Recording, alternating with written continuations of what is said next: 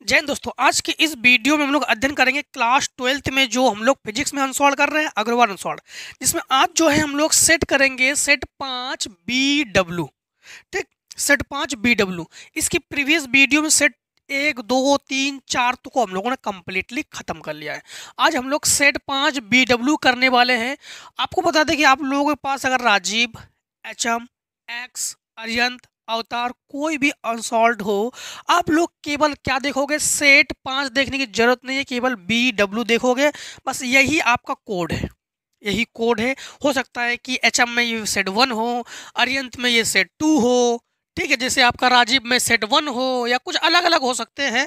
ठीक है तो हम लोग केवल बी डब्ल्यू देखेंगे। चलिए शुरू करते हैं।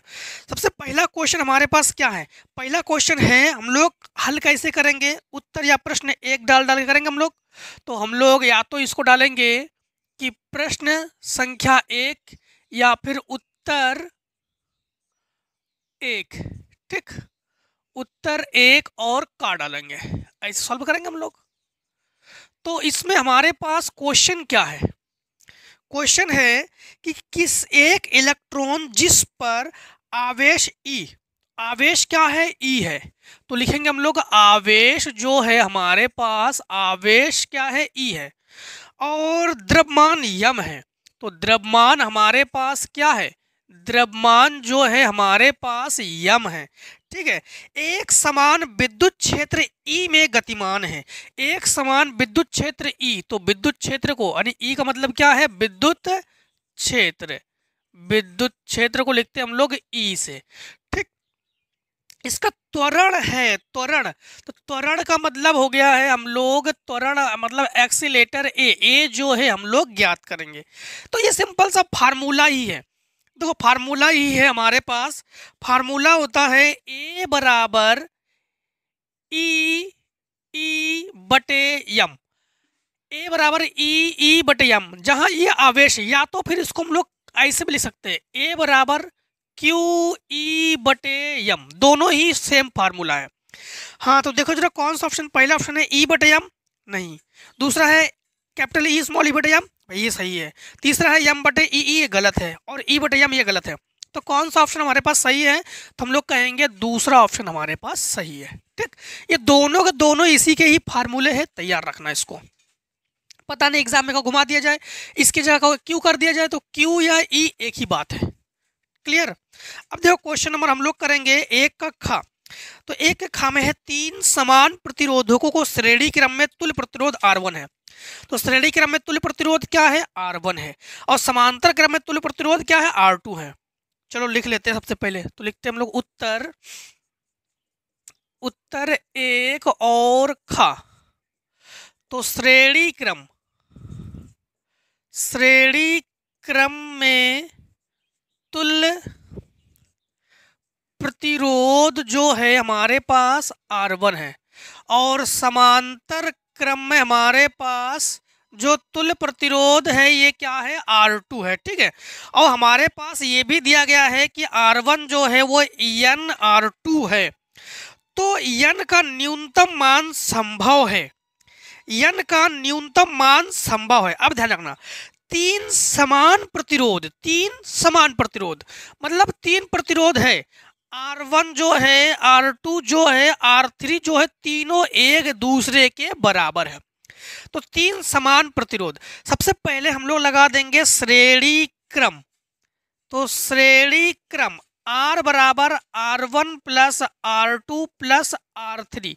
Formula होता ही हमारे पास।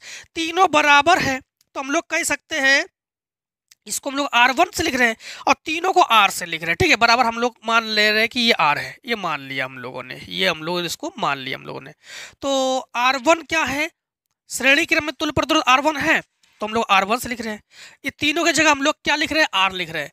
तो आर वन बराबर R plus R plus R अर्थात आर वन बराबर तीन आर अब हम लोग लगाएँगे समांतर क्रम, ठीक, समांतर क्रम।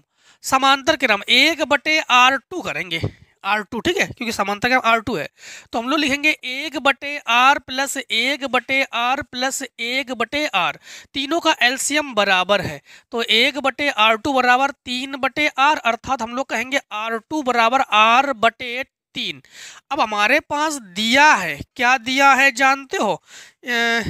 आर वन बराबर एन आर टू। हाँ। तो आर वन बराबर एन आर टू। तो एन का न्यूनतम मान संभव है। अब आर वन बराबर एन आर टू तो आर वन के जगह हम लोग लिख सकते हैं तीन आर तो तीन आर, और एन इंटू आर टू की जगह लिख सकते हैं हम लोग आर बटे तीन। आर बटे तीन, आर से आर कैंसिल तीन तरीका नौ तो एन बराबर नौ तो एन बराबर नौ हमारे पास ऑप्शन है। तो पहला ऑप्शन है एक बटे नौ, दूसरा ऑप्शन है एक बटे तीन, तीसरा ऑप्शन है तीन, चौथा ऑप्शन है नौ। तो कौन सा ऑप्शन हम लोग सही करेंगे? चौथा ऑप्शन हम लोग सही करेंगे। तो चौथा ऑप्शन हमारे पास सही है एन बराबर क्या है? नौ। नेक्स्ट क्वेश्चन में है क्वेश्चन एक गा में है, एक समान चुंबकीय क्षेत्र में किसी आवेशित कण के वृत्ति पथ की त्रिज्या अनुक्रमानुपाती होती है। तो वृत्ति कण की जो त्रिज्या है, वो किसके अनुक्रमानुपाती होती है? देखो, आपको बता दें जो कण के आवेश के कण के संवेग के और चुंबकीय क्षेत्र की तीव्रता के कण की ऊर्जा के। तो कण के संवेग के तो एक समान चुंबकीय क्षेत्र में आवेशित कण की जो वृत्ति पथ की त्रिज्या है किसके अनुक्रमानुपाती है? तो कण के संवेग के अनुक्रमानुपाती है। अर्थात कौन सा ऑप्शन सही है हमारे पास? दूसरा ऑप्शन सही है। तो हमारे पास गा गा वाले में ना? तो उत्तर हम लोग कहेंगे, उत्तर एक के जो गा है, वो किस, कौन सही है हमारे पास? दूसरा सही है कण के संवेग के। तो हम लोग कहेंगे कण के संवेग के। अब इसके बाद देखो घा नंबर घा नंबर में गेट है हमारे पास, उत्तर एक और घा तो लिखेंगे उत्तर एक और घा। एक के घा में हमारे पास गेट इस प्रकार से है। पहले तो हमारे पास एक और गेट है, यू और गेट है। और गेट में हम लोग जानते भी हैं, दो होते हैं इनपुट, ये दो इनपुट है।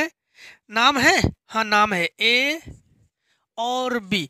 और एक हो, एक है आउटपुट। चलो, आउटपुट उसमें नहीं दर्शाया गया है। इसके बाद यहाँ पर इसी में हम लोग एक एंड गेट जोड़ते हैं।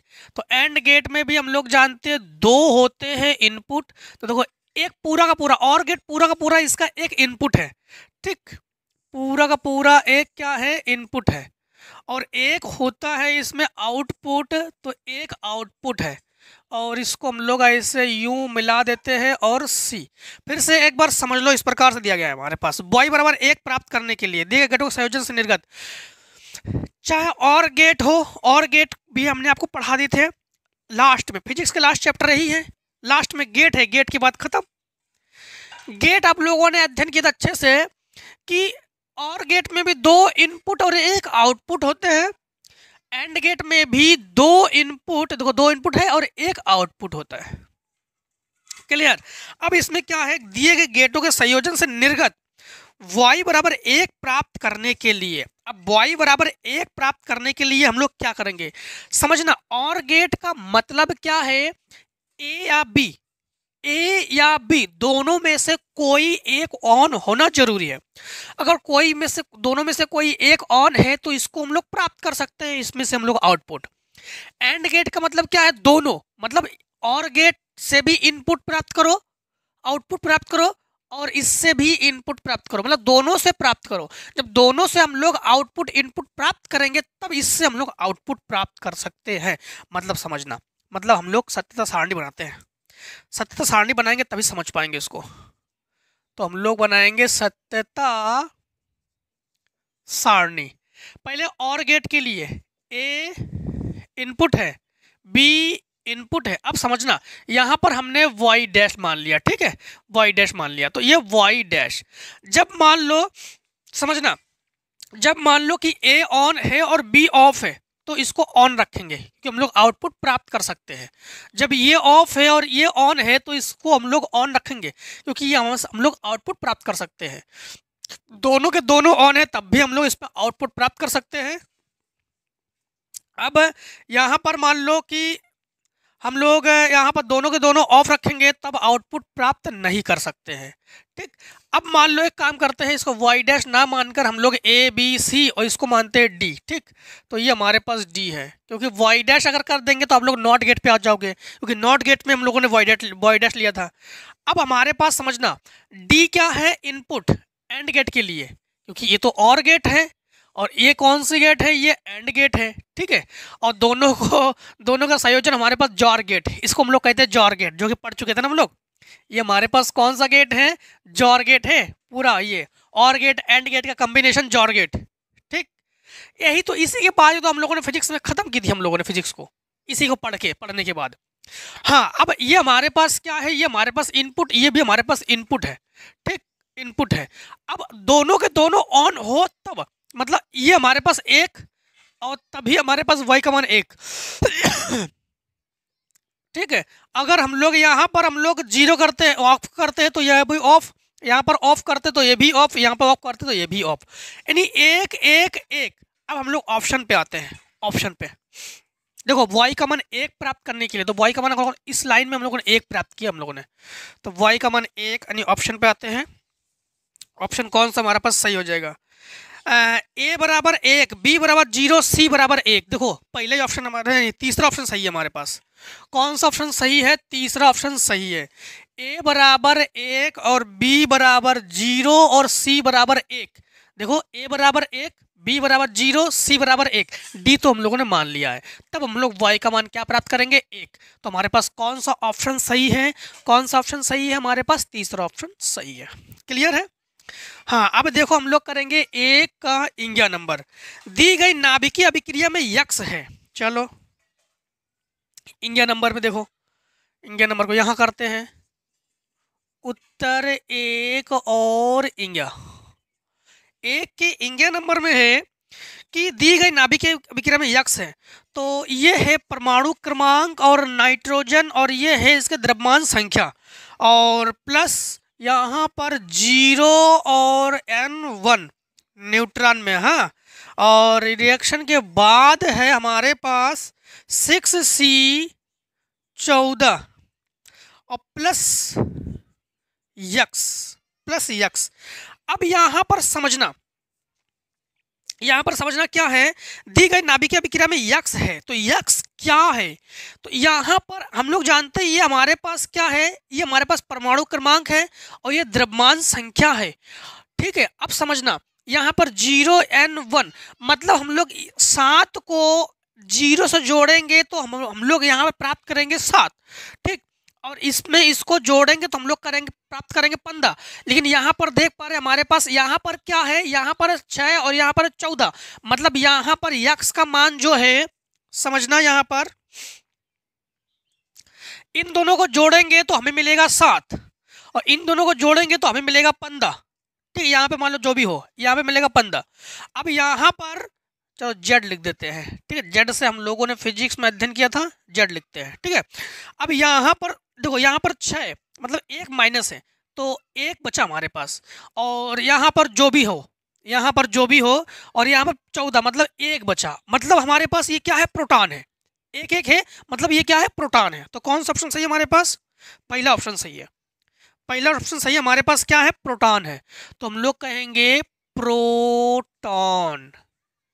प्रोटॉन का मतलब क्यों जानते हो? क्योंकि जेड की जगह हम लोग लिखेंगे वन एच वन, ये एच का है। तो यक्स का मतलब क्या है? यक्स का मतलब है वन एच वन, और वन एच वन का मतलब होता है प्रोटॉन। और अगर वन एच टू हो तो ड्यूट्रॉन। वन एच टू हो तो क्या होता है? ड्यूट्रॉन। ठीक है? तो पहला ऑप्शन सही हमारे पास। क्या है? Proton, one H one. अगर वन एच टू हो तो भी हमारे पास इसको कहेंगे हम लोग ड्यूट्रॉन। हाँ अब देखो, एक के चा एक के चा में क्या है हमारे पास? उत्तर एक और चा। तो लिखेंगे यहाँ पर उत्तर एक और चा।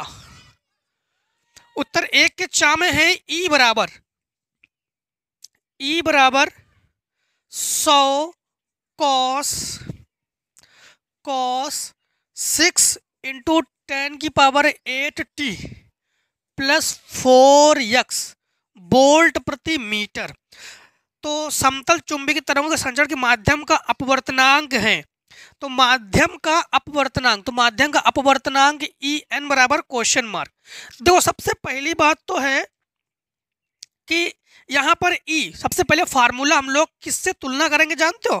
इसको हम लोग तुलना करेंगे ई e बराबर E not sine omega T plus K X या केवल ओमेगा टी से हाँ से तुलना करेंगे हम लोग, से हम लोग कर लेंगे तुलना।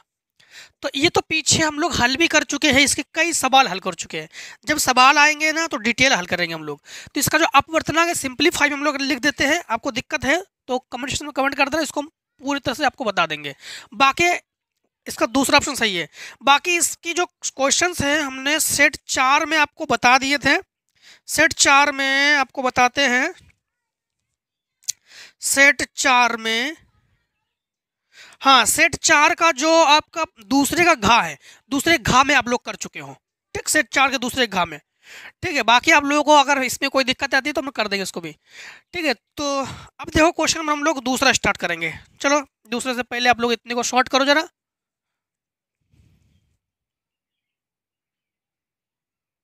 हम लोग दूसरे का करेंगे, खंड बा। तो एक चीज़ ध्यान रखना कि बोर्ड एग्ज़ाम में खंडों को अलग अलग पेजों से करोगे। हर खंड को अलग अलग पेजों से करोगे। और, अगर मान लो कि दो चार लाइन लिखने के बाद अगर कोई खंड आ जाए तो पेज चेंज ना करो। अगर मान लो कि आधी पेज भरने के बाद अगर कोई खंड आ जाए तो खंड बा को, खंड सा को, खंड दा को नेक्स्ट पेज पे करोगे। सबसे पहले क्वेश्चन का दूसरे का। तो हम लोग लिखेंगे क्या? उत्तर दूसरे का का। लिखेंगे उत्तर दो और का। दूसरे का में क्या है? किसी आवेशित संधारित्र की धारिता, सी, फैरड तथा संचित ऊर्जा यू, जूल है। संधारित्र की प्लेटों पर आवेश का व्यंजक लिखिए। अब समझना संधारित धारिता तो धारिता को हम लोग किससे लिखेंगे? और लिखेंगे क्या? हमारे पास दिया ही गया है, धारिता बराबर हमारे पास सी है। और मात्रक, फैरड, और हमारे पास ऊर्जा। तो ऊर्जा हमारे पास, ऊर्जा है यू और मात्रक है जूल। और हमारे पास आवेश तो क्यू क्यू बराबर क्वेश्चन मार्क अब एक चीज़ ध्यान रखना, एक नंबर का है, इसीलिए अनसॉल्व पढ़ना बहुत ज़रूरी है। क्योंकि एक नंबर क्वेश्चन है, अगर यही क्वेश्चन चार चार नंबर पाँच नंबर में आ जाए तो इसको हम लोग प्रूफ करेंगे। और अगर एक नंबर में आ जाए तो केवल फार्मूला लिखेंगे। तो इनका कहना है कि आवेश का व्यंजक लिखिए। तो हम लोग केवल व्यंजक लिखेंगे। तो Q बराबर हम लोग क्या लिखेंगे? Q बराबर अंडर रूट Q का मतलब क्या है? आवेश। टू और U और हमारे पास C टू यू सी ऊर्जा और ये धारिता। ठीक? तो Q बराबर टू यू सी बस आंसर एक नंबर है, इसलिए इसको हम लोग हल नहीं करेंगे। ठीक है? कॉम्बिनेशन का विशेष ध्यान रखना। ठीक? जैसे ये हम लोग रेक्टेंगल ब्रैकेट में बंद करते हैं और अंदर ब्लू मार्कर यानी ब्लू पेंसिल लिखोगे आप लोग। और मोटे पेन लेके जाओगे एग्ज़ाम में। हाँ देखो क्वेश्चन नंबर दूसरा। आ, दूसरे खा। प्रकाश विद्युत प्रभाव क्या है? तो उत्तर डालोगे दूसरे खा। और ऐसे क्वेश्चनों में आप लोग हेडिंग ज़रूर डालोगे। तो हम लिखेंगे उत्तर दो और खा। और हेडिंग डालोगे प्रकाश विद्युत प्रभाव। दो कुछ बच्चे जो है ना, गलतियाँ करते हैं। गलतियाँ क्या करते जानते हो? जैसे ही हम स्क्रीनशॉट लेने की बात करते हैं, वहाँ पर पहुँच जाते तुरंत स्क्रीनशॉट लेने के बाद बात खत्म। ऐसा नहीं, समझ, समझना भी ज़रूरी है, क्योंकि साइंस में जब तक समझोगे नहीं, तब तक बना के लिख नहीं पाओगे। इसीलिए समझना बहुत ज़रूरी है। प्रकाश विद्युत प्रभाव किसे कहते हैं? अब समझना, प्रकाश विद्युत प्रभाव किसे कहते हैं? जैसे मान लो कि ये कोई एक धातु का पृष्ठ है, ये कोई क्या है, एक धातु का पृष्ठ है। इस पर अगर उच्च आवृत्ति उच्च आवृत्ति उच्च आवृत्ति मतलब परावैग्निक किरणें, या फिर हम लोग कह सकते हैं एच न्यू आवृत्ति की, सबसे हाईएस्ट आवृत्ति एच न्यू आवृत्ति, या परावैग्निक किरणें अल्ट्रावायलेट रेज अंग्रेज़ी में कहते हैं उसको, ठीक है? कोई भी धातु का पृष्ठ हो, उस पर अगर उच्च आवृत्ति का प्रकाश आपतित हो तो उससे इलेक्ट्रॉन उत्सर्जन होते हैं। उससे जो है, इलेक्ट्रॉन उत्सर्जन होते हैं। इस घटना को प्रकाश विद्युत प्रभाव कहते हैं, बस। समझना इसलिए ज़रूरी होता है। तो प्रकाश, विद्युत प्रभाव किसे कहते हैं? जब किसी धातु की पृष्ठ पर उच्च आवृत्ति का प्रकाश आपतित हो तो धातु की पृष्ठ से इलेक्ट्रॉन का उत्सर्जन होता है। इस घटना को प्रकाश, विद्युत प्रभाव कहते हैं। प्रकाश, विद्युत प्रभाव कापटन प्रभाव, सब प्रभाव आप लोग पढ़ चुके हो। क्लियर? हाँ अब देखो क्वेश्चन नंबर। आप लोग जो बता रहे यही लिखोगे अगर आप लोग कुछ लिखना चाहते हो तो लिखोगे यही। ठीक है? या फिर लिख देते हैं। जिससे कि आप लोगों को समझ में आ जाए। तो जब किसी धातु की, धातु के पृष्ठ पर उच्च आवृत्ति उच्च आवृत्ति का प्रकाश आपतित आपतित हो तो धातु की पृष्ठ से इलेक्ट्रॉन उत्सर्जित होते हैं। इस घटना को प्रकाश विद्युत प्रभाव कहते हैं, ठीक? अब क्या है? क्वेश्चन नंबर दूसरे का गा। तो डालोगे उत्तर दूसरे का गा या प्रश्न दूसरे का गा, ठीक है? तो उत्तर दो और गा। दूसरे के गा में क्या है? एन टाइप के अर्धचालक में बहुसंख्यक तथा अल्पसंख्यक आवेश वाहकों के नाम लिखिए। देखो, हम आपको बताते हैं। दोनों टाइप पढ़ा दिए हमने। पीएन संधि डायोड आप लोग पढ़ चुके हो। पीएन संधि डायोड। जैसे पीएन संधि डायोड आप लोग पढ़ चुके हो? पी क्षेत्र और ये एन क्षेत्र यहाँ पर समझना। पी क्षेत्र में कोटर, बहुसंख्यक में कौन होते हैं? कोटर। और एन क्षेत्र में बहुसंख्यक में कौन होते हैं? इलेक्ट्रॉन। एन क्षेत्र में बहुसंख्यक में कौन होते हैं? इलेक्ट्रॉन। फिर से एक बार समझना। अगर एन टाइप अर्ध पी टाइप अर्धचालक है, अगर पी टाइप अर्धचालक है तो उसमें बहुसंख्यक में होंगे कोटर, अल्पसंख्यक में होंगे इलेक्ट्रॉन। अगर एन टाइप अर्धचालक है तो उसमें बहुसंख्यक होंगे इलेक्ट्रॉन, अल्पसंख्यक होंगे कोटर। लेकिन हमारे पास क्वेश्चन क्या है? क्वेश्चन है एन टाइप के अर्धचालक में बहुसंख्यक और अल्पसंख्यक आवेश वाहकों के नाम लिखिए। तो एन टाइप के अर्धचालक में बहुसंख्यक कौन है? इलेक्ट्रॉन और अल्पसंख्यक कौन है? कोटर तो हम लोग कहेंगे एन टाइप अर्ध चालक में बहुसंख्यक बहुसंख्यक कौन है? इलेक्ट्रॉन और अल्पसंख्यक कौन है? अल्पसंख्यक है कोटर। बस। इसको अंग्रेज़ी में होल भी कहते हैं। ठीक है, होल। हाँ। अब क्वेश्चन नंबर देखो नेक्स्ट दूसरे का घा। दूसरे के घा में क्या है? तो लिखोगे उत्तर दो और घा। तो उत्तर उत्तर दो और घा। दूसरे के घा में क्या है?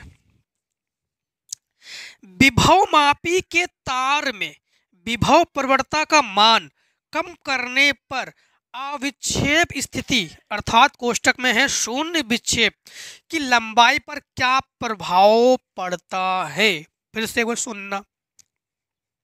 विभव मापी के तार में विभव प्रवणता का मान कम करने पर। किसे कम कर रहे हैं हम लोग? विभव प्रवणता के मान में हम लोग कमी ला रहे हैं। यानी एक चीज़ ध्यान रखना कि अगर विभव प्रवणता का मान कम करने पर अविक्षेप स्थिति, अर्थात शून्य विक्षेप की लंबाई पर क्या प्रभाव पड़ेगा? तो शून्य विक्षेप पर लंबाई पर क्या प्रभाव पड़ेगा? यानी अधिक लंबाई पर अवक्षेप स्थिति प्राप्त होती है। क्या होती है? अधिक लंबाई पर। अगर अधिक लंबा लंबाई होना तो अवक्षेप स्थिति प्राप्त होती है। तो बस यही इसका आंसर ही कर देना आप लोग। अधिक लंबाई पर अवक्षेप स्थिति प्राप्त होती है। क्वेश्चन नंबर दूसरे का, इंग्या। चलो दूसरे का आप लोग पहले इसको लिख देते हैं। आंसर लिख देते हैं इसको। अधिक लंबाई पर अधिक, क्योंकि उनको भी फ़ायदा हो जाए जो स्क्रीन शॉट लेते हैं, केवल। अधिक लंबाई पर अवक्षेप अवक्षेप की स्थिति प्राप्त होती है। अधिक लंबाई पर क्या होती है? अवक्षेप की स्थिति प्राप्त होती है। अब देखो, दूसरे का इंग्या नंबर। तो हम लोग करेंगे उत्तर दो और इंग्या दो के इंग्या नंबर में क्वेश्चन है धारा मापी को बोल्ट मीटर में कैसे बदलते हैं? तो धारा मापी को बोल्ट मीटर में कैसे बदलते हैं? यानी यानी हम लोग क्या करेंगे जानते हो? श्रेणी क्रम में उच्च प्रतिरोध हम लोग जोड़ देंगे।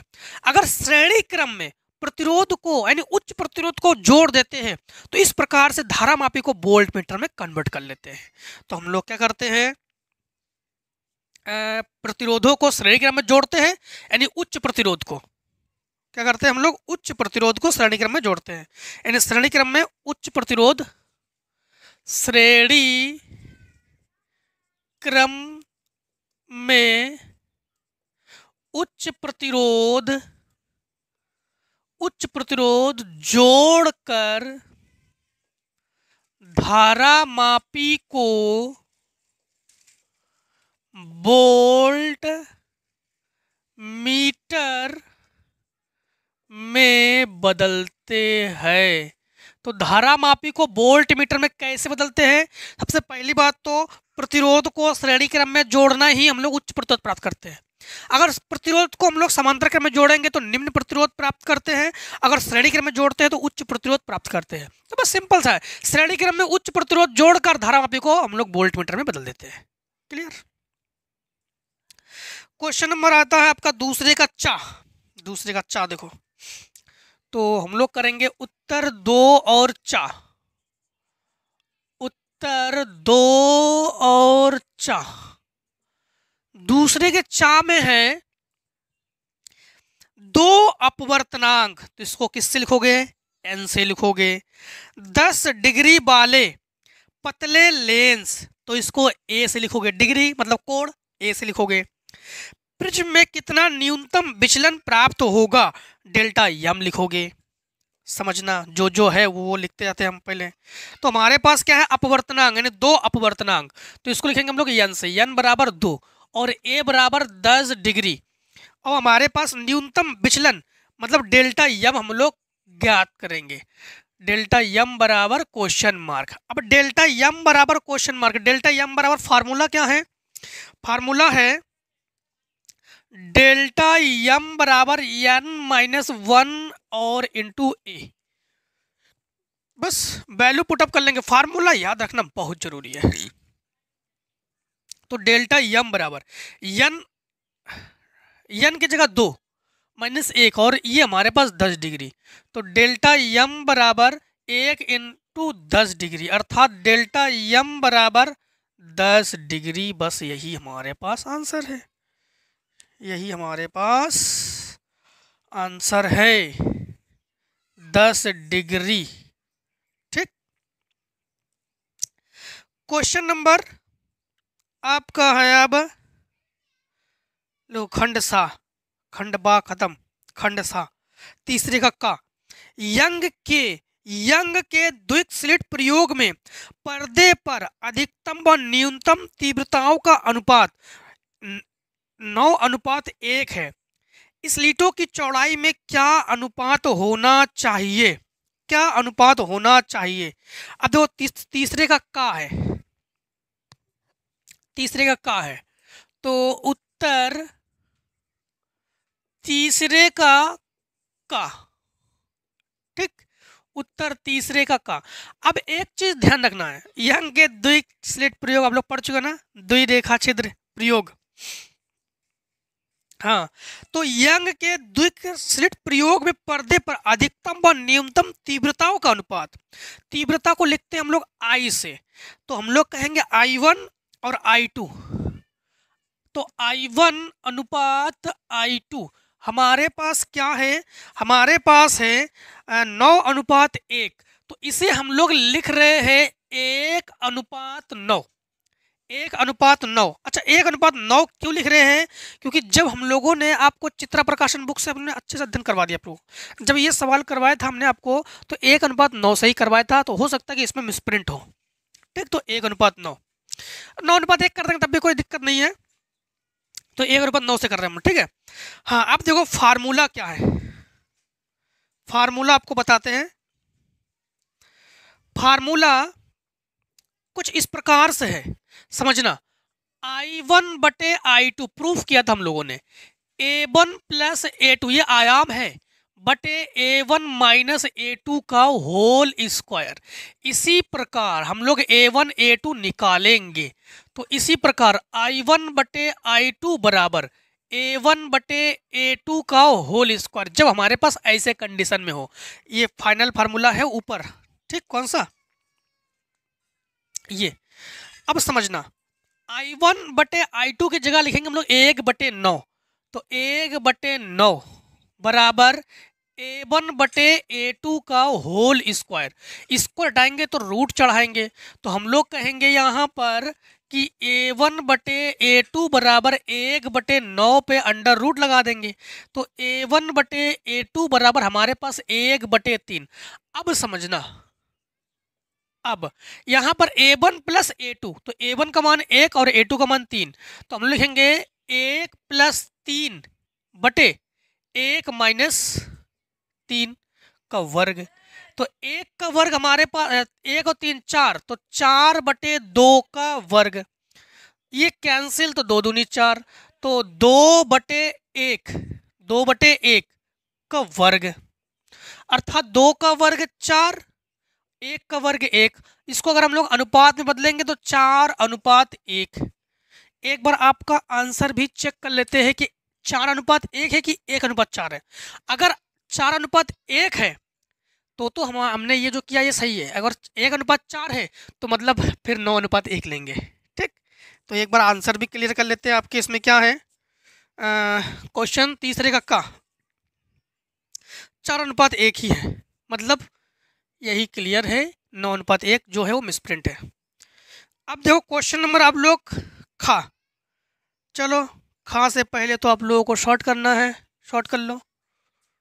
अब देखो क्वेश्चन नंबर जो है हम लोग करेंगे तीसरे का खा। तीसरे खा में क्या है देखो जरा। तीसरे का खा। तीसरे खा में है कि एक तार का प्रतिरोध दो ओम है। तो किस लिखेंगे? इसको आर से लिखेंगे। और तार की त्रिज्या खींचकर आधी कर दी जाती है। ठीक है, नए तार का प्रतिरोध ज्ञात कीजिए आर टू ज्ञात करेंगे। देखो, सबसे पहले लिखेंगे उत्तर तीन और खा। उत्तर तीन और खा। तीसरे खा में क्या है? आर बराबर हमारे पास क्या है? दो ओम। अब तार की त्रिज्या खींची जाती है। त्रिज्या खींची जाती है। मतलब समझना, जैसे मान लो कि ये कोई एक तार है। ये कोई एक तार है। और तार त्रिज्या खींची जाती है, त्रिज्या खींच आधी कर जाती है मतलब इसकी लंबाई में हम लोग वृद्धि करेंगे। तो यहाँ पर समझना, इसकी लंबाई में हम लोग इस प्रकार से वृद्धि करेंगे। इसकी लंबाई में कर देंगे वृद्धि, ठीक? इस तार की लंबाई में कर देंगे वृद्धि। और यहाँ पर इसको हम लोग करेंगे आर वन और आर टू, नए तार का प्रतिरोध हम लोग ज्ञात करेंगे, नए तार का प्रतिरोध। अब इसके आयतन में तो कोई फ़र्क पड़ने वाला है नहीं, आयतन में। तो हम लोग क्या करेंगे कि जब आयतन में फ़र्क ना पड़े तो उस कंडीशन में हम लोग ए वन एल वन बराबर ए टू एल टू जब आयतन अपरिवर्तित रहे, ऐसा कब करते हैं? जब आयतन परिवर्तनी ना हो, परिवर्तनी ना हो। एक चीज़ और ध्यान रखना जब इसके क्षेत्रफल में लेकिन परिवर्तन है, क्षेत्रफल जानते हो? क्षेत्रफल जो ए टू है, ये ए वन के बट वाई चार है। क्योंकि अगर हम लोग दोगुने त्रिज्या खींचेंगे तो ए वाई फोर तीन गुने में खींचेंगे तो वैसे हाँ अब समझना। अगर दो गुना खींचेंगे तो ए वाई फोर तीन गुना खींचेंगे तो उसी का स्क्वायर करते जाते हम लोग। तीन गुना, तीन का स्क्वायर नौ तो ए वाई नाइन और अगर चार गुना खींचेंगे तो ए वाई सिक्सटीन सोलह। मतलब जितने गुना खींचेंगे ना, उतना ही हम लोग वर्क कर देंगे उसका बटे में। अब समझना। यहाँ पर अगर हम लोग करते हैं, चार को ऊपर पहुँचा दो तो ये हो जाएगा चार और ए टू को इसको पहुँचा दो तो हो जाएगा ए वन बटे ए टू और इसके बटे में एक। इसके बटे में क्या है? एक।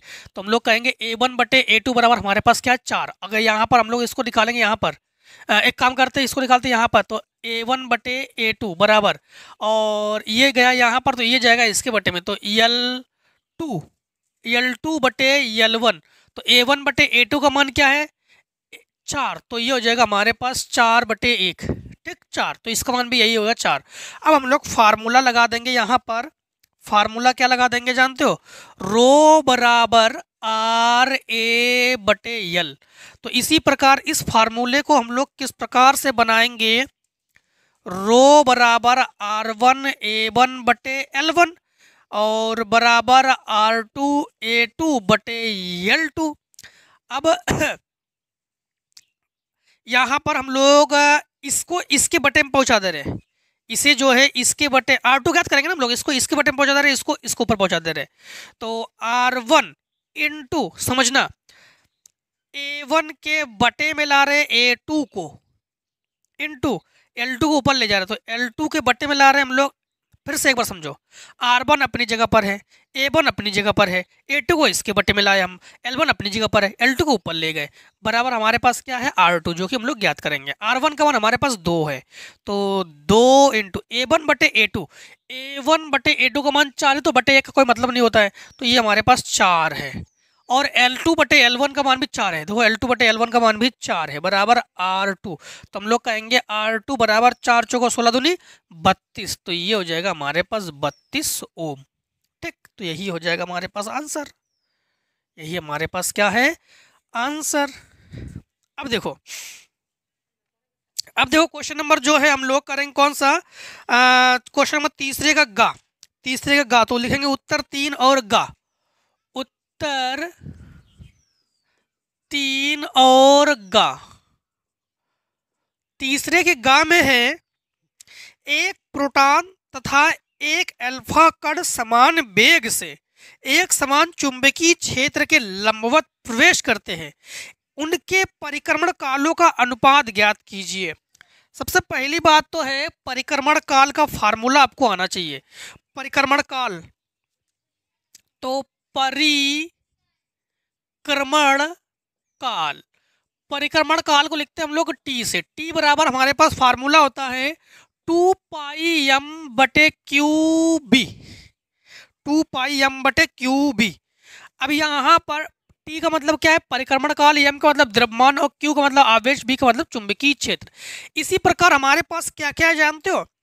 हमारे पास एक है प्रोटॉन और एक है अल्फ़ा कण, और समान वेग से। तो प्रोटॉन और अल्फ़ा कण तो हम लोग प्रोटॉन के लिए प्रोटॉन का परिक्रमण काल निकाल लेते हैं तो टी पी पी का मतलब प्रोटॉन और टी का मतलब परिक्रमण काल। तो प्रोटॉन का परिक्रमण काल हमारे पास टू पाई एम बटे यहाँ पर लिखेंगे हम लोग क्यू पी और बी, और टी अल्फ़ा यहाँ पे अल्फ़ा कण का परिक्रमण काल निकालेंगे। तो टू पाई एम बटे क्यू अल्फ़ा बी अब दोनों, देखो क्वेश्चन में ही है। प्रोटॉन और अल्फ़ा कण समान वेग से, समान वेग का मतलब है दोनों के वेगों को हम लोग समान। मतलब हम लोग एक काम करते हैं कि इसमें हम लोग अनुपात निकालेंगे। कभी भी अगर अनुपात निकाले जाए तो उसको हमेशा बटे में लिखते हैं हम लोग। क्या करते हैं? बटे में लिखते हैं। तो लिखेंगे हम लोग टी अल्फ़ा बटे टी पी बराबर। Two pi M two pi M बटे क्यू अल्फ़ा बी, बटे टीपी का मान टू पाई एम बटे Q P B two pi M से टू पाई एम कैंसिल। इसे पहुंचाएँगे एकदम ऊपर तो टी अल्फ़ा टी पी बराबर क्यू पी बी बटे क्यू अल्फ़ा बी बी से बी कैंसिल। यहाँ पर प्रोटॉन पर आवेश और ये अल्फ़ा कण पर आवेश। प्रोटॉन पर आवेश होता है एक दशमलव छः इंटू दस की घात माइनस उन्नीस गुलाम अल्फ़ा कण पर आवेश होता है तीन दशमलव दो इंटू दस की घात माइनस उन्नीस गुलाम दस की घात माइनस उन्नीस से कैंसिल, दशमलव से दशमलव कैंसिल, सोलह एकम, सोलह सोलह दूनी बत्तीस। तो टी अल्फ़ा अनुपात टीपी बराबर एक अनुपात दो, या एक बटे दो कह सकते हैं, और यही हमारे पास क्या हो जाएगा? यही हमारे पास हो जाएगा आंसर। अब देखो क्वेश्चन नंबर हम लोग करेंगे तीसरे का घा। देखो, तीसरे का घा क्या है? घा के बाद घा। तो लिखेंगे हम लोग उत्तर तीन उत्तर तीन और घा। तीसरे के घा में क्या है? तीसरे के घा में है कि एक प्रकाश विद्युत सेल, ठीक, एक प्रकाश विद्युत सेल से एक वर्णी बिंदु प्रकाश स्रोत को आर दूरी पर रखने पर निरोधी विभव वी प्राप्त होता है। जब स्रोत को तीन आर दूरी रख दिया जाता है, तब निरोधी विभव पर क्या प्रभाव पड़ेगा? अपने उत्तर को स्पष्ट कीजिए। समझना, एक प्रकाश विद्युत प्रभाव से एक वर्णी बिंदु प्रकाश को आर दूरी पर रखने पर, निरोधी विभव वी प्राप्त होता है। और एक चीज़ ध्यान रखना, यहाँ पे निरोधी विभव पर क्या प्रभाव पड़ेगा, ये हमसे इन्होंने पूछा है। तो सबसे पहली बात तो हम लोग एक चीज़ ध्यान रखना कि हम लोग जानते हैं कि जो आई है, अर्थात तीव्रता है, ये व्युत्क्रमानुपाती है दूरी के वर्ग के। ये व्युत्क्रमानुपाती है दूरी के वर्ग के। दूरी हमारे पास, देखो हमारे पास दिया गया है। दूरी हमारे पास क्या दिया गया? जब स्रोत तीन आर दूरी पर रख दी जाए। कितने आर दूरी पर? तीन आर दूरी पर रख दी जाए। तो दूरी आर का मान है हमारे पास तीन आर। तो हम लोग कहेंगे, आई बराबर, मान लो नेतांग हम लोग के ले लेते हैं। और बटे हमारे पास ये हो जाएगा तीन आर का स्क्वायर। अर्थात हम लोग कहेंगे तीन आर का स्क्वायर और स्टार्टिंग में हमारे पास प्रकाश स्रोत से आर दूरी पर रखने पर, आर दूरी पर रखने पर तो मतलब आर दूरी पर रखने पर हमारे पास दिया गया आर दूरी पर रखने पर रखने पर, आर दूरी स्टार्टिंग में दे दिया गया हमारे पास। तो आई बराबर आर के तो नितांक है, इसका मान कुछ भी है, मान लो एक मान लो, और तीन तरह का नौ आर नौ आर नितांक का मान मान लो, हम लोगों ने के बराबर क्या मान लिया? एक तो एक मान लिया हम लोगों ने तो ये हो जाएगा नौ आर स्क्वायर। अब यहाँ पर इनका कहना क्या है कि निरोधी विभव पर क्या प्रभाव पड़ेगा? तो हम लोग देख पा रहे हैं निरोधी विभव परिवर्तित तो नहीं होगा यहाँ पर। निरोधी विभव हम लोग कहेंगे निरोधी विभव परिवर्तित निरोधी विभव परिवर्तित नहीं होगा। निरोधी विभव जानते हो किसे कहते हैं? निरोधी विभव किसे कहते हैं? अगर किसी भी परिपथ में विभव का मान शून्य हो जाए तो उसे निरोधी विभव कहते हैं। विभव का मान क्या हो जाए? शून्य हो जाए तो उसे निरोधी विभव कहते हैं हम लोग। तो क्या यहाँ पर शून्य हो रहा है? नहीं हो रहा ना? यहाँ पर नौ, देखो, एक बटे नौ आर स्क्वायर है, शून्य तो नहीं है तो निरोधी विभव परिवर्तित नहीं होगा यहाँ पर। निरोधी विभव जो है परिवर्तित नहीं होगा, लेकिन तीव्रता जो है, आई का मतलब क्या है? तीव्रता। आई का मतलब क्या है? तीव्रता। लेकिन लेकिन तीव्रता जो है, तीव्रता कितनी गुनी हो जाएगी? एक बटे नौ गुनी हो जाएगी। तीव्रता जो है, एक बटे नौ गुनी हो जाएगी। फिर से एक बार समझ लो यहाँ पर देखो। यहाँ पर हम लोग देख पा रहे हैं कि आई आई जो है तो फार्मूला ही हमारे पास। आई व्युत क्रमानुपाती है दूरी के वर्ग के। क्लियर यहाँ पर हम लोग के पास आर का मान दिया गया है तीन आर तो आई की जगह आई नेतांक कुछ भी ले लो, कोई बात नहीं। यहाँ पर और ये आर की जगह तीन आर स्क्वायर और आठ दूरी पर रखने पर आई बराबर, हम लोगों ने के का मान एक मान लिया था। तो नौ आर स्क्वायर निरोधी विभव परिवर्तित नहीं होगा। निरोधी निरोधी विभव किसे कहते हैं? अगर विभव का मान शून्य हो जाए तो उसे निरोधी विभव कहते हैं। तो क्या विभव का मान यहाँ पर शून्य है कहीं पर? तो कहीं पर विभव का मान ज़ीरो नहीं है। तो निरोधी विभव में तो कोई परिवर्तन नहीं है। लेकिन तीव्रता कितनी गुनी हो जाएगी?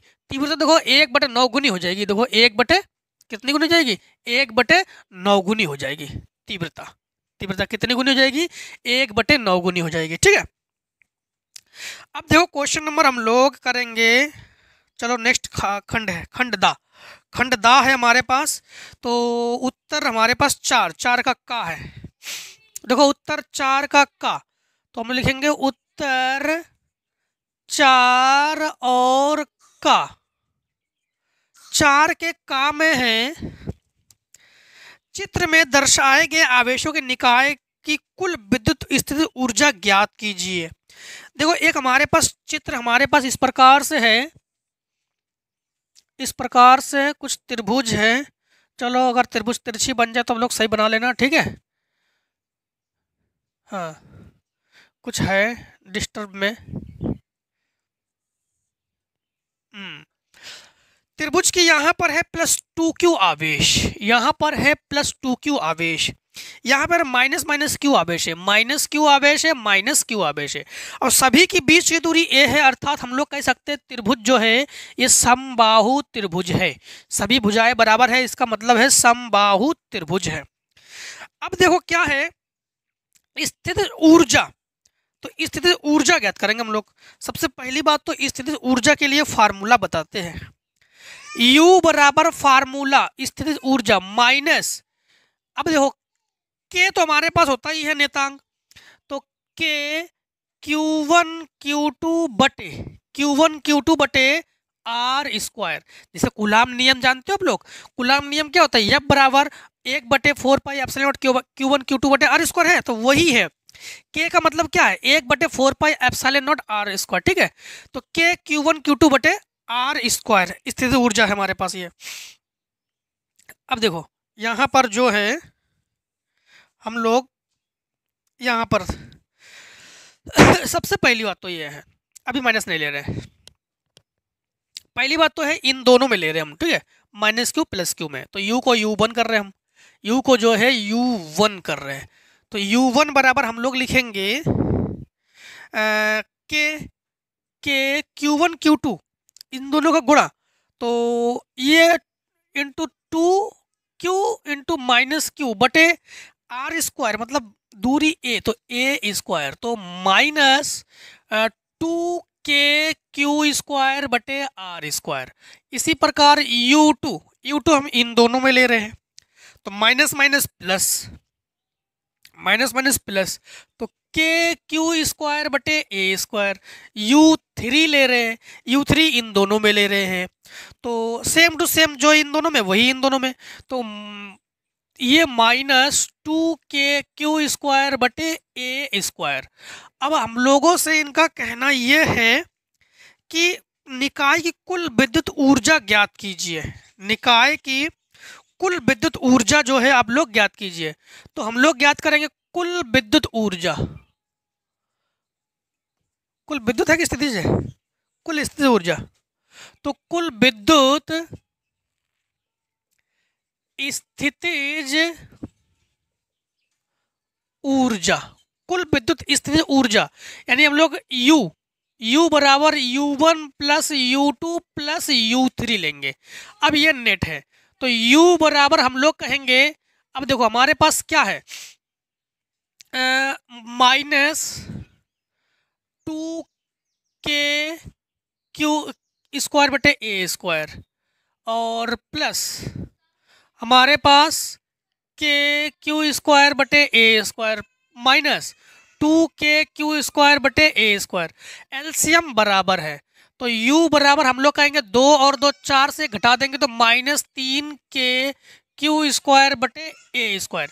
अब हम लोग चाहे तो इसी को ऐसे ही रख लो, या one upon four pi epsilon naught में रखना चाहो तो उसमें रख लो। तो आप लोग बोर्ड एग्ज़ाम में अगर समय की बचत करना चाहते हो तो इसी में ऐसे ही रख लो। लेकिन हम दोनों कर दे रहे ठीक है? इसको हम लोग पूर्ण रूप में कैसे लिखेंगे समझना। पूर्ण रूप में। पूर्ण रूप में हम लोग ऐसे लिख सकते हैं यू बराबर minus one upon four pi epsilon naught, जो कि के का मान है। और थ्री को भी यही कर लो, क्योंकि ये हमारे पास अचर है ना? और इंटू क्यू स्क्वायर बटे ए स्क्वायर ऐसे भी कर सकते हैं हम लोग। ठीक? तो यही है निकाय की कुल स्थितिज ऊर्जा। निकाय की कुल स्थितिज ऊर्जा। ठीक? अब देखो आप लोग चौथे का खा। चलो, इतने को पहले शॉर्ट कर लो आप लोग। अब देखिए क्वेश्चन नंबर हम लोग जो है करेंगे चार का खा। चार के खा में क्या है कि परस्पर लंबवत रखे आर त्रिज्या की दो सकेंद्रीय वृत्ताकार कुंडलियों में समान धारा आई प्रवाहित करने पर उनके परिणामी चुंबकीय आघूर्ण का सूत्र ज्ञात कीजिए। देखो उत्तर हम लोग करेंगे चार का खा। तो लिखेंगे हम लोग उत्तर चार और खा। चार के खा में क्या है? परस्पर लंबवत रखी लंबवत रखी। आर त्रिज्या की दो सकेंद्री वृत्ताकार कुंडलियों में से समान धारा प्रभावित हो रही है। वृत्ताकार सकेंद्री यानी सकेंद्री का मतलब है एक ही केंद्र के अगर दो या दो से अधिक व्रत हो तो उसे कहते हैं सकेंद्री व्रत और परस्पर लंबत रखे आर त्रिज्या की दो सकेंद्री वृत्ताकार कुंडलियों समान धारा आई धारा प्रभावित हो रही है। तो इसमें कौन सी धारा प्रवाहित हो रही है? इसमें जो है आई धारा प्रवाहित हो रही है। इसमें कौन सी धारा प्रवाहित हो रही है? आई धारा प्रवाहित हो रही है। इसकी जो केंद्र है, इसकी त्रिज्या है आर ठीक है? आई धारा प्रवाहित करने पर उसके परिणामी चुंबकीय क्षेत्र आघूर्ण प्राप्त कीजिए। तो देखो, सबसे पहले आपको बता दें कि चुंबकीय आघूर्ण चुंबकीय आघूर्ण का फार्मूला क्या होता है? चुंबकीय आघूर्ण। चुंबकीय आघूर्ण को लिखते हम लोग, लिखेंगे हम लोग यम से। यम बराबर हमारे पास फार्मूला होता है आई इंटू ए। तो एम बराबर आई को तो आई लिखेंगे, ए का मतलब क्षेत्रफल, जिसको लिखेंगे हम लोग पाई आर स्क्वायर। तो हम लोग लिखेंगे यम बराबर I into pi R square. ठीक, ये लिखेंगे हम लोग। इसके बाद, देखो, एक और ध्यान रखना कि यहाँ पर दो बार हम लोग जब लगाएँगे, दो बार इसी प्रकार अब एम बराबर, अब एम वन बराबर एम वन बराबर हम लोग क्या लिखेंगे? I pi R one square. क्यों? एक वृत्त के लिए। इसकी त्रिज्या मान लो हम लोगों ने आर वन मान ली और इसकी त्रिज्या मान लो हम लोगों ने आर टू मान ली हम लोगों ने। और एम टू बराबर हम लोग लिखेंगे I pi R two square. अब हमारे, हमसे इन्होंने कहा है कि परिणामी चुंबकीय आघूर्ण तो हम लोग लिखेंगे परिणामी चुंबकीय आघूर्ण। परिणामी चुंबकी आघूर्ण का मतलब होगा नेट आघूर्ण। तो हम लोग कहेंगे यम बराबर अंडर रूट में एम वन का स्क्वायर प्लस एम टू का स्क्वायर परिणामी है, परिणामी यम बराबर अंडर देखो, अगर केवल चुंबकीय आघूर्ण की बात की जाए, तब हमारे पास ये फार्मूला लेकिन इसी प्रकार अगर हमारे पास दो सकेंद्रीय व्रत है ना तो तब हम तब के लिए हम बात कर रहे हैं, तब के लिए हम लोग ऐसे लगाएँगे. तो यम बराबर अंडर रूट में M one square plus M two square ठीक है? अब हम लोग जो है, यहाँ पर मान रख देंगे. तो यम बराबर अंडर रूट में एम वन का मान क्या हमारे पास I pi R one square I pi R one square का whole square, plus I pi R two square का होल स्क्वायर। तो I pi square, I pi square common तो M बराबर अंडर रूट में, आई स्क्वायर भी common, pi square भी common. तो बचा क्या हमारे पास? आर वन, अब देखो, आर वन यहाँ पर है हमारे पास, पाई आई ए आर स्क्वायर, ठीक है तो हम लोग लिखेंगे आर वन स्क्वायर। अब दोनों की दोनों त्रिज्या क्या हमारे पास आर है? तो हम लोग यहाँ पर भी ध्यान रखना, यहाँ पर भी ध्यान रखना कि ये बचेगा R one square plus R two square. लेकिन इन, देखो, बुक में आपके आंसर में देखो, दोनों की त्रिज्या आर है। तो हम लोग कहेंगे कि इन दोनों को तो बाहर निकालेंगे। तो यम बराबर आई पाई और अंडर रूट में इसी लिखेंगे हम लोग आर स्क्वायर का होल स्क्वायर और प्लस ये लिखेंगे हम लोग आर स्क्वायर का होल स्क्वायर। ठीक है? अब यहाँ पर हो जाएगा आई पाई। अब यहाँ पर इन दोनों को जोड़ेंगे तो हो जाएगा दो आर की घात चार। तो इसे बाहर निकालेंगे तो यम बराबर I pi R square under root दो। ये हमारे पास है परिणामी चुंबकीय आघूर्ण। यही हमारे पास क्या है? परिणामी चुंबकीय आघूर्ण। क्लियर अब देखो नेक्स्ट क्वेश्चन हमारे पास आ, गा नंबर। चौथे का गा तो हम लिखेंगे उत्तर। उत्तर, चार और गा। चार के गा में है, विद्युत चुंबकीय तरंगे क्या है? विद्युत चुंबकीय तरंगे क्या है? चित्र की सहायता से समझाइए कि ये तरंगे अनुप्रस्थ प्रकृति की होती है। देखो तो विद्युत चुंबकीय तरंगे क्या है? तो विद्युत चुंबकीय तरंगे तो हेडिंग डालोगे आप लोग। विद्युत चुंबकीय तरंगे, विद्युत चुंबकीय तरंगे इंपॉर्टेंट है। हर एक सेट में ये पूछा जा रहा है तो इसका मतलब है, ये इंपॉर्टेंट है। विद्युत चुंबकीय तरंगे किसे कहते हैं? तो देखो, इसकी जो चित्र है, इस प्रकार से बनाओगे। ये है हमारे पास, चलो, यहाँ पर बना देते चित्र इधर। ये हमारे पास है विद्युत क्षेत्र, और ये हमारे पास है चुंबकीय क्षेत्र, और ये है प्रकाश संचरण की दिशा। अब विद्युत क्षेत्र के अकॉर्डिंग तो धाराएँ ऐसे प्रवाहित होती है। और चुंबकीय क्षेत्र अकॉर्डिंग धाराएँ जो है, इस प्रकार से प्रवाहित होती है। ठीक। इस प्रकार से। इसमें अगर विद्युत क्षेत्र रेखा दिखाएँगे तो हम लोग ऐसे दिखाएँगे। ठीक है। इसमें दिखाएँगे तो हम लोग ऐसे दिखाएँगे। ऐसे दिखाएँगे, ये सब में बनाएँगे हम लोग। ठीक है? तो इस प्रकार से, इसमें सीधी एक बार हम लोग मतलब विद्युत क्षेत्र और चुंबकीय क्षेत्र और प्रकाश संचरण की दिशा तीनों ही एक दूसरे के कैसे होते हैं? लंबवत होते हैं। तो विद्युत चुंबकीय तरंगे क्या है? वही तरंगे जिनको संचरण के लिए माध्यम की आवश्यकता नहीं होती है। बिना माध्यम के भी संचरित हो सकती है। उस तरंगों को हम लोग विद्युत चुंबकीय तरंगे कहते हैं। और ये अनुप्रस्थ क्यों होती है? क्योंकि ये सरंगर्त सरंगर्त करते करते आगे की ओर संचरित होती है और इसको चलने के लिए माध्यम की आवश्यकता नहीं होती है। इसलिए इसकी प्रकृति अनुप्रस्थ होती है। हाँ इसको हम लोग पीछे भी क्लियर कर करवा चुके हैं आपको, पीछे सेट में। अब देखो क्वेश्चन नंबर आप लोग करोगे, उत्तर, आप चार का घा। चार के घा में क्या है? तो लिखोगे उत्तर, चार और घा। चार के घा में है, एक संयुक्त सूक्ष्मदर्शी का नामांकित किरण आरेख बनाइए, जब अंतिम प्रतिबिंब अनंत पर बन रहा है। केवल चित्र ही बनाना है आपको। जब अंतिम प्रतिबिंब अनंत पर हो तो संयुक्त सूक्ष्मदर्शी संयुक्त सूक्ष्मदर्शी जब किरण आने संयुक्त सूक्ष्मदर्शी, हम लिखेंगे संयुक्त सूक्ष्म दर्शी जब अंतिम प्रतिबिंब अनंत पर हो। कहाँ पर हो? अनंत पर हो। देखो ये हम लोग यूँ छोटा सा उत्तल लेंस बनाएँगे। ठीक, बस यही अंतर होता है, संयुक्त में खगोली में। खगोली में सबसे पहले बड़ा और बाद में छोटा। इसमें सबसे पहले हम लोग छोटा, फिर बाद में लिखते हैं हम लोग बड़ा। तो ये है उत्तल लेंस की मुख्य अक्ष।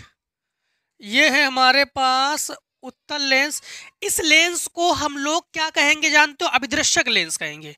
तो इस लेंस को हम लोग किस नाम से जानते हैं? इस नाम, इस लेंस को हम लोग कहते हैं अभिदृश्यक लेंस।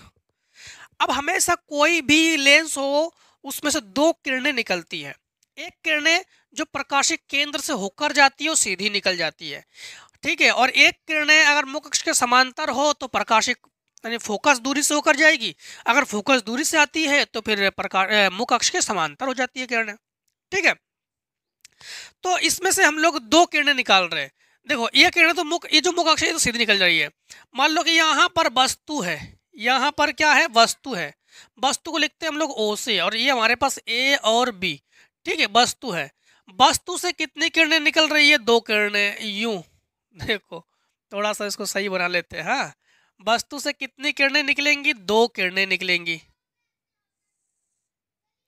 ठीक? इस तरह से।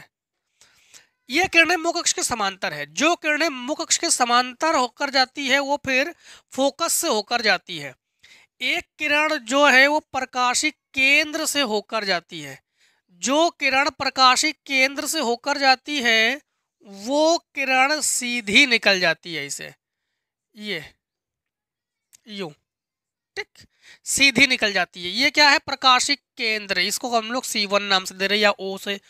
ठीक है? तो ये हमारे पास क्या है? प्रकाशिक केंद्र तो जो जो किरण प्रकाशिक केंद्र से होकर जाती है, फिर वो किरण क्या होती है? सीधी निकल जाती है। अब दोनों जहाँ पर मिलते हैं, वहाँ पर बनता है प्रतिबिंब। तो यहाँ पर बना प्रतिबिंब। ए डैश बी डैश जो है, ये क्या है? प्रतिबिंब। इस प्रतिबिंब से हम लोगों को मज़ा नहीं आया। तो हम लोगों ने क्या किया? इसके पास और एक बड़ा सा उत्तल लेंस बनाते हैं। और एक बड़ा सा उत्तल लेंस बनाते हैं यूँ। ठीक? और यहाँ पर ये प्रकाशी केंद्र पर अभिलंब, ये प्रकाशी केंद्र हम लोग सी वन सी टू लिख रहे हैं। अब इसको क्या करते हैं? यहाँ से अब इसको मानते हैं कि ये वस्तु है। तो यहाँ से दो किरणें ले जाओ। एक किरण ये जो मुख अक्ष के समांतर होकर जाती है। जो किरणें मुख अक्ष के समांतर होकर जाती है, वो फिर कहाँ से होकर जाती है? फोकस से। तो यूँ फोकस से होकर जा रही है ये। ठीक, फोकस से होकर जा रही है।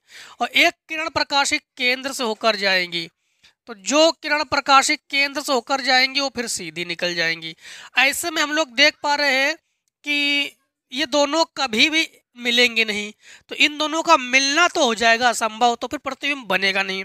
दोनों मिलेंगे नहीं तो प्रतिबिंब बनेगा नहीं। तो इसको हम लोग आभास मान लेते हैं और पीछे की ओर खींच के ले आते हैं। ठीक? पीछे की ओर खींच के ले आते हैं। यूँ। यूँ। अब इसको भी जितना पीछे गया जब काफ़ी दूर जाके अनंत पर जाकर प्रतिबिंब बनेगा। कहाँ बनेगा? अनंत पर जाकर प्रतिबिंब बनेगा। तो बस यही है किरण आरेख। यही है क्या? किरण आरेख। अब इनका कहना है कि सूक्ष्मदर्शी की आवर्धन क्षमता किन कारकों पर निर्भर करती है? तो आप लोग हेडिंग डाल लेना कारक। क्या हेडिंग डाल लेना कारक?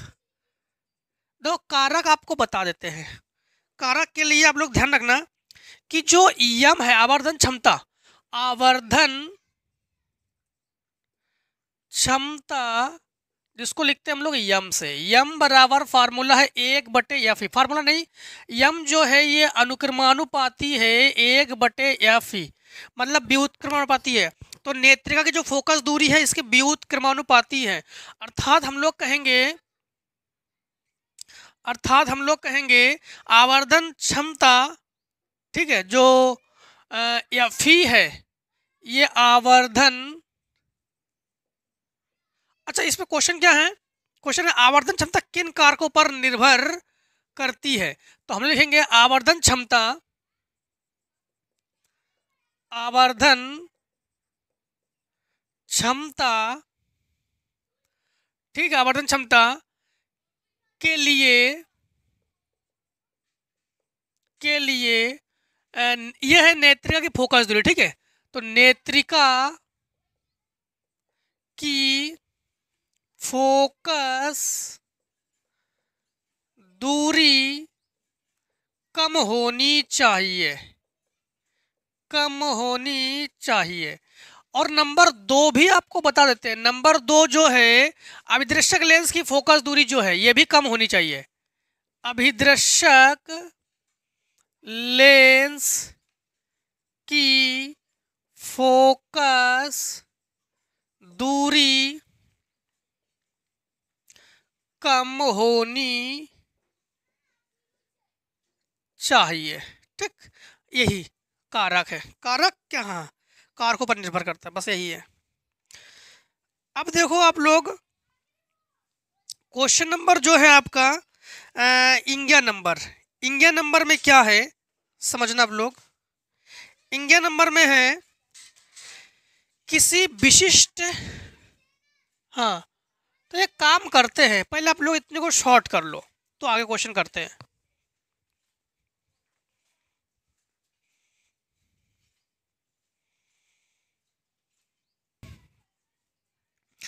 अब देखो क्वेश्चन नंबर हम लोग करेंगे आ, चार का इंग्या नंबर हाँ? चार के इंग्या नंबर में देखो क्या है? आ, इंग्या नंबर में है, किसी विशिष्ट परमाणु का ऊर्जा स्तर आरेख चित्र में प्रदर्शित है।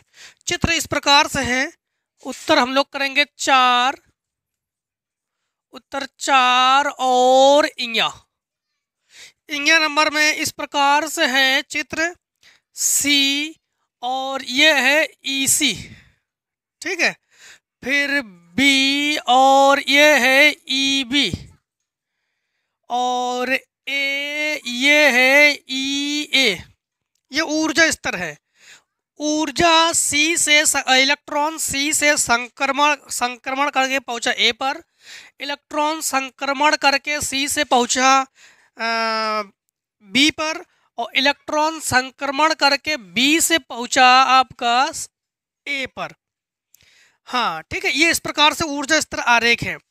तो किसी परमाणु का ऊर्जा स्तर आरेख आपके चित्र में है? स्तर सी से ए का उत्सर्जन संक्रमण में एक हज़ार एंगेस्ट्रॉम, एक हज़ार एंगेस्ट्रॉम बिल्कुल सही है। और सी से बी उत्सर्जन संक्रमण पाँच हज़ार एंगेस्ट्रॉम तरंग धैर्य प्राप्त होती है। बी से ए संक्रमण उत्सर्ज तरंग धैर्य की गणना की जाए समझना। सी से ए उत्सर्जन में, सी से ए तो हम लोग कहेंगे सी से ए में तो जो संक्रमण है तो हम लोग कहेंगे हमारे पास है एक हज़ार एंगेस्ट्रॉम।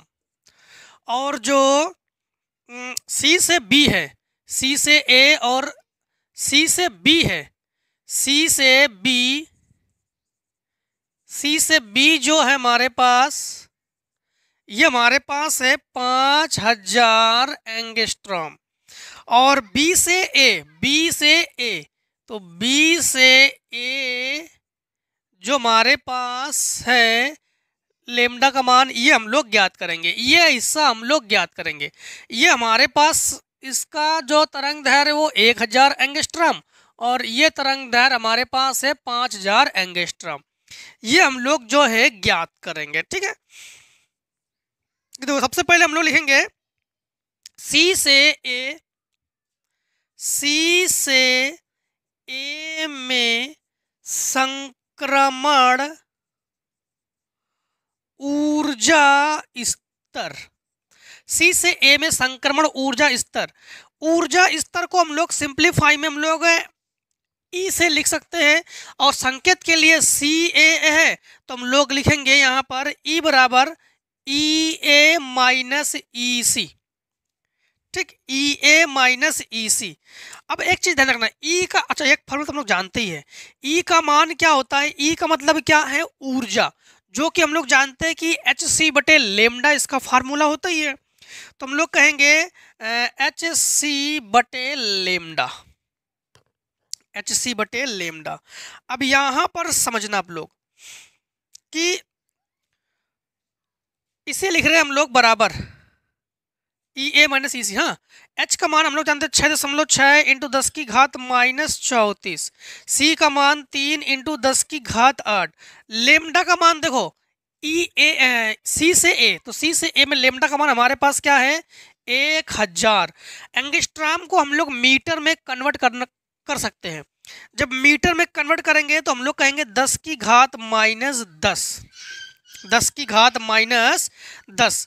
अब यहाँ पर हम लोग इसको अगर इलेक्ट्रॉन बोल्ट में कन्वर्ट करना चाहे तो एक दशमलव छः इंटू दस की घात माइनस उन्नीस।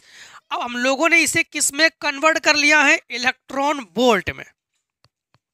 किससे कन्वर्ट कर लिया है हम लोगों ने? इलेक्ट्रॉन बोल्ट में। जब इसको कंप्लीटली हम लोग हल करेंगे तो ई ए माइनस ई सी बराबर।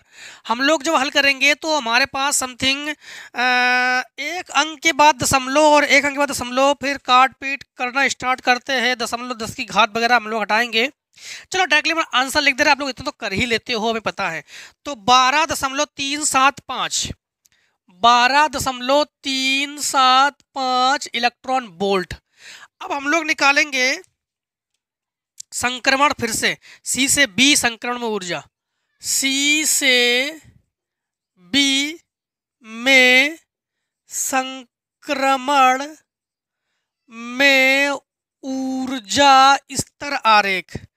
तो ऊर्जा स्तर हमारे पास अब इसमें लिखेंगे हम लोग ई e, देखो यहाँ पे सी ए तो ए सी हुआ तो बी माइनस सी बराबर यही एच सी बटे लेमडा ठीक? एच सी बटे लेमडा लेमडा का मान केवल कन्वर्ट करेंगे यहाँ पर हम लोग। तो यहाँ पर लिखेंगे हम लोग एच का मान हमारे पास क्या है जानते हो हम लोग? एच का मान है हमारे पास छः दशमलव छः इंटू दस की घात माइनस चौंतीस। तीन दशमलव तीन इंटू दस की घात आठ। बटे लेमडा का मान हमारे पास देखो पाँच हज़ार एंगस्ट्राम है तो पाँच हज़ार एंगस्ट्राम को दस की घात माइनस दस और एक दशमलव छः इंटू दस की घात माइनस उन्नीस, ये हम लोगों ने इलेक्ट्रॉन बोल्ट में कन्वर्ट कर लिया हम लोगों ने। ठीक है, इसको जब हम लोग हल करेंगे तो हमारे पास E B minus E C बराबर। अब देखो, इसको भी हम लोग कंप्लीटली जब हल कर लेंगे तो हमारे पास मिलेगा हमें नौ दशमलव नौ। नहीं, बी से हम्म सी से बी है।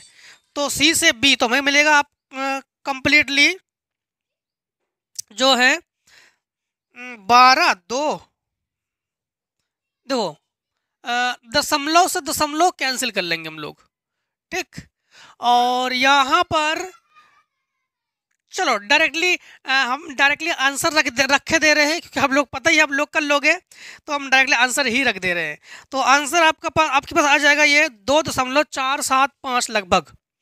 दो दशमलव चार सात पाँच इलेक्ट्रॉन बोल्ट अब जो है, हम लोग क्या निकालेंगे? बी से ए बी से ए तो बी से ए देखो बी से ए का मतलब क्या जानते हो आप लोग? बी से ए में संक्रमण, ऊर्जा, स्तर। मतलब हम लोग कहेंगे ई ए माइनस ई बी अब एक काम करते हैं कि समीकरण कुछ मिस्ट हाँ ये देखो, यहाँ पर हाँ। अगर समीकरण इन दोनों को घटाते हैं समीकरण एक और समीकरण दो मान लो इसको। समीकरण एक और समीकरण दो मान लेते हैं। तो हम लोग ये तो ज्ञात करेंगे। तो हम लोग एक काम करते हैं, समीकरण एक और दो को घटाने पर। तो जब घटा देंगे तो ई ए माइनस ई सी बराबर बारह दशमलव तीन सात पाँच। और ये हमारे पास है E B minus E C बराबर दो दशमलव चार सात पाँच। अब ये माइनस प्लस माइनस जब घटा देंगे तो इससे ये कैंसिल। ये हमारे पास हो जाएगा ई ए माइनस ई बी बराबर। आ, ये हमारे पास पाँच से पाँच ज़ीरो सात से सात ज़ीरो यहाँ से एक लेंगे हमारे पास हो जाएगा तेरह से नौ और यहाँ पर 11 से हमारे पास बचा नौ। तो लगभग नौ दशमलव नौ इलेक्ट्रॉन बोल्ट लगभग। तो हमारे पास क्या जाएगा? लगभग नौ दशमलव नौ इलेक्ट्रॉन बोल्ट तो ये तो ऊर्जा इस तरह है। तो हम लोग कहेंगे ई ए माइनस ई बी बराबर हमारे पास फार्मूला होता है एच सी बटे लेमडा क्योंकि हम लोग तरंग धैर्य ज्ञात करेंगे ना तो ये तरंग धैर्य ज्ञात करेंगे हम लोग। तो यहाँ पर इसका मान हमारे पास है नौ दशमलव नौ बराबर। एच का मान है छः दशमलव छः इंटू दस की घात माइनस चौंतीस और इंटू तीन इंटू दस की घात आठ बटे लेमडा का मान हम लोग ज्ञात करने जा रहे हैं। इसको पहुंचाओ यहाँ पर, इसको पहुंचाओ यहाँ पर। तो लेमडा बराबर छः दशमलव छः इंटू दस की घात माइनस चौंतीस इंटू तीन इंटू दस की घात आठ बटे नौ दशमलव नौ। नौ दशमलव ज़ीरो ज़ीरो भी रख सकते हो, या केवल नौ दशमलव नौ। अब इसको इलेक्ट्रॉन बोल्ट में कन्वर्ट करने के लिए हम लोग एक दशमलव छः इंटू दस की घात माइनस उन्नीस से गुणा कर लेंगे। तो लगभग जब इसको हम टोटली हल करेंगे तो हमारे पास कौन सा है? हमारे पास चार का इंग्या। हाँ तो 1250 एंगेस्ट्रम लगभग हमारे पास आ जाएगा ये। तो कितना आ जाएगा? 1250 एंगेस्ट्रम। ठीक? 1250 एंगेस्ट्रम। अब देखो हम लोग करेंगे question number next. Question number हम लोग करेंगे पाँच। पाँच। एक वायुयान के पंख फैलाव की लंबाई एल मीटर है तथा न्यू मीटर प्रति सेकेंड की वेग से उत्तर से दक्षिण दिशा में उड़ रहा है। यदि पृथ्वी के चुंबकीय क्षेत्र का छैतीस घटक एच बीबर एक चीज़ आपको बता दें कि चुंबकीय क्षेत्र के छैतीस घटक वाले जो है नमन कोण, नति कोण, द्विपात द्विपात कोण, ये लेसन यानी भू चुंबक का जो लेसन है, आपकी बार हटा दिया गया है। ठीक है तो आपकी बार एनसीईआरटी सिलेबस में नहीं है तो इसको हम नहीं बता रहे, ठीक है? अब देखो पांचवे का खा। पाँचवें खा में है। चित्र में प्रदर्शित तार ए बी का प्रतिरोध 12000 ओम है तथा उसके सिरों के बीच 220 वोल्ट का विभांतर लगाया जाता है। वोल्ट मीटर बी का प्रतिरोध 6000 ओम है। तार पर बिंदु सी बिंदु ए से एक चौथाई दूरी पर है। बोल्ट मीटर का पाठ्यांक ज्ञात क्या है? तो सबसे पहले देखो, चित्र इस प्रकार से है। चित्र बना के आपको बताते हैं। पाँच का आपका है खा। तो लिखोगे उत्तर पाँच और खा। पाँच के खा में है, इस प्रकार से चित्र है। यहाँ पर आपका बोल्ट मीटर है।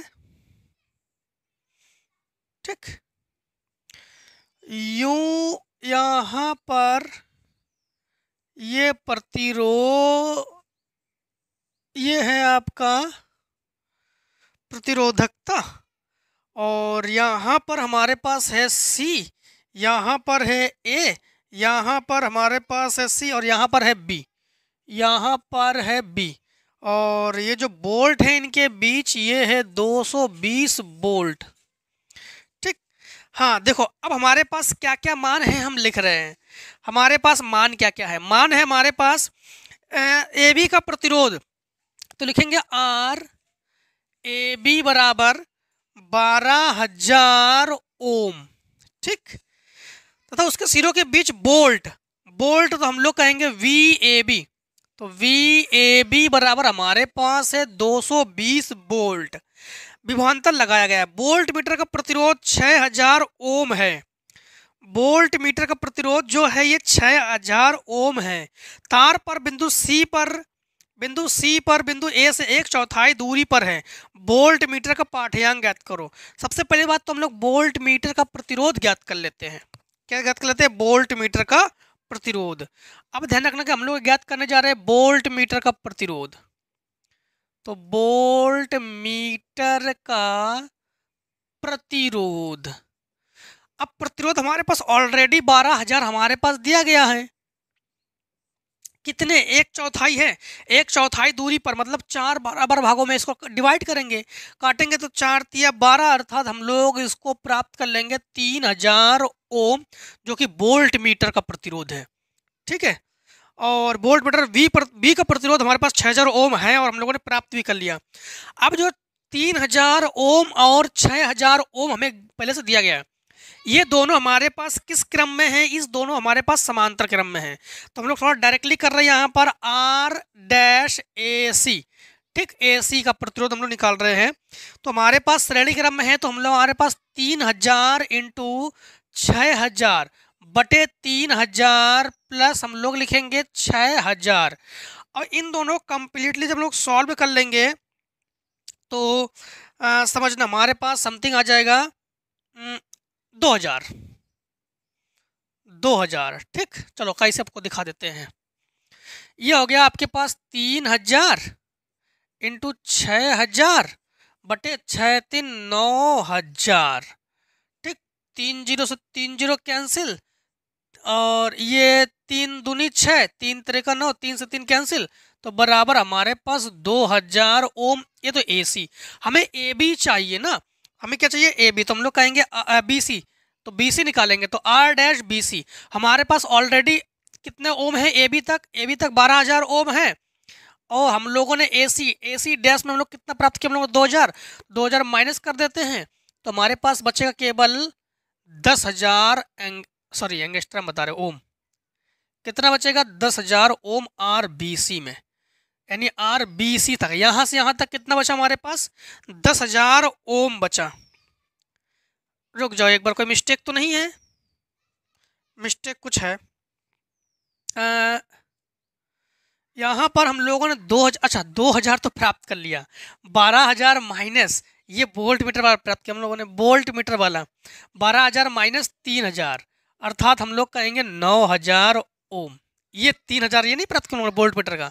ये माइनस करेंगे हम लोग तो ये हो जाएगा हमारे पास नौ हज़ार। अब हमसे पूछा गया है बोल्ट मीटर का पाठ्यांक हम लोग ज्ञात कर लेंगे। तो ए और बी के बीच हम लोग बोल्ट मीटर का पाठ्यांक कौन सा क्वेश्चन है आपका? चौथे, पाँचवें का खा। तो पाँचवें का का, खा, चालीस बोल्ट दिया गया है। हाँ चलो, अभी देखो आगे। अब हम लोग ए व बी के बीच, हम लोग निकालेंगे हाँ? ए व बी के बीच प्रतिरोध।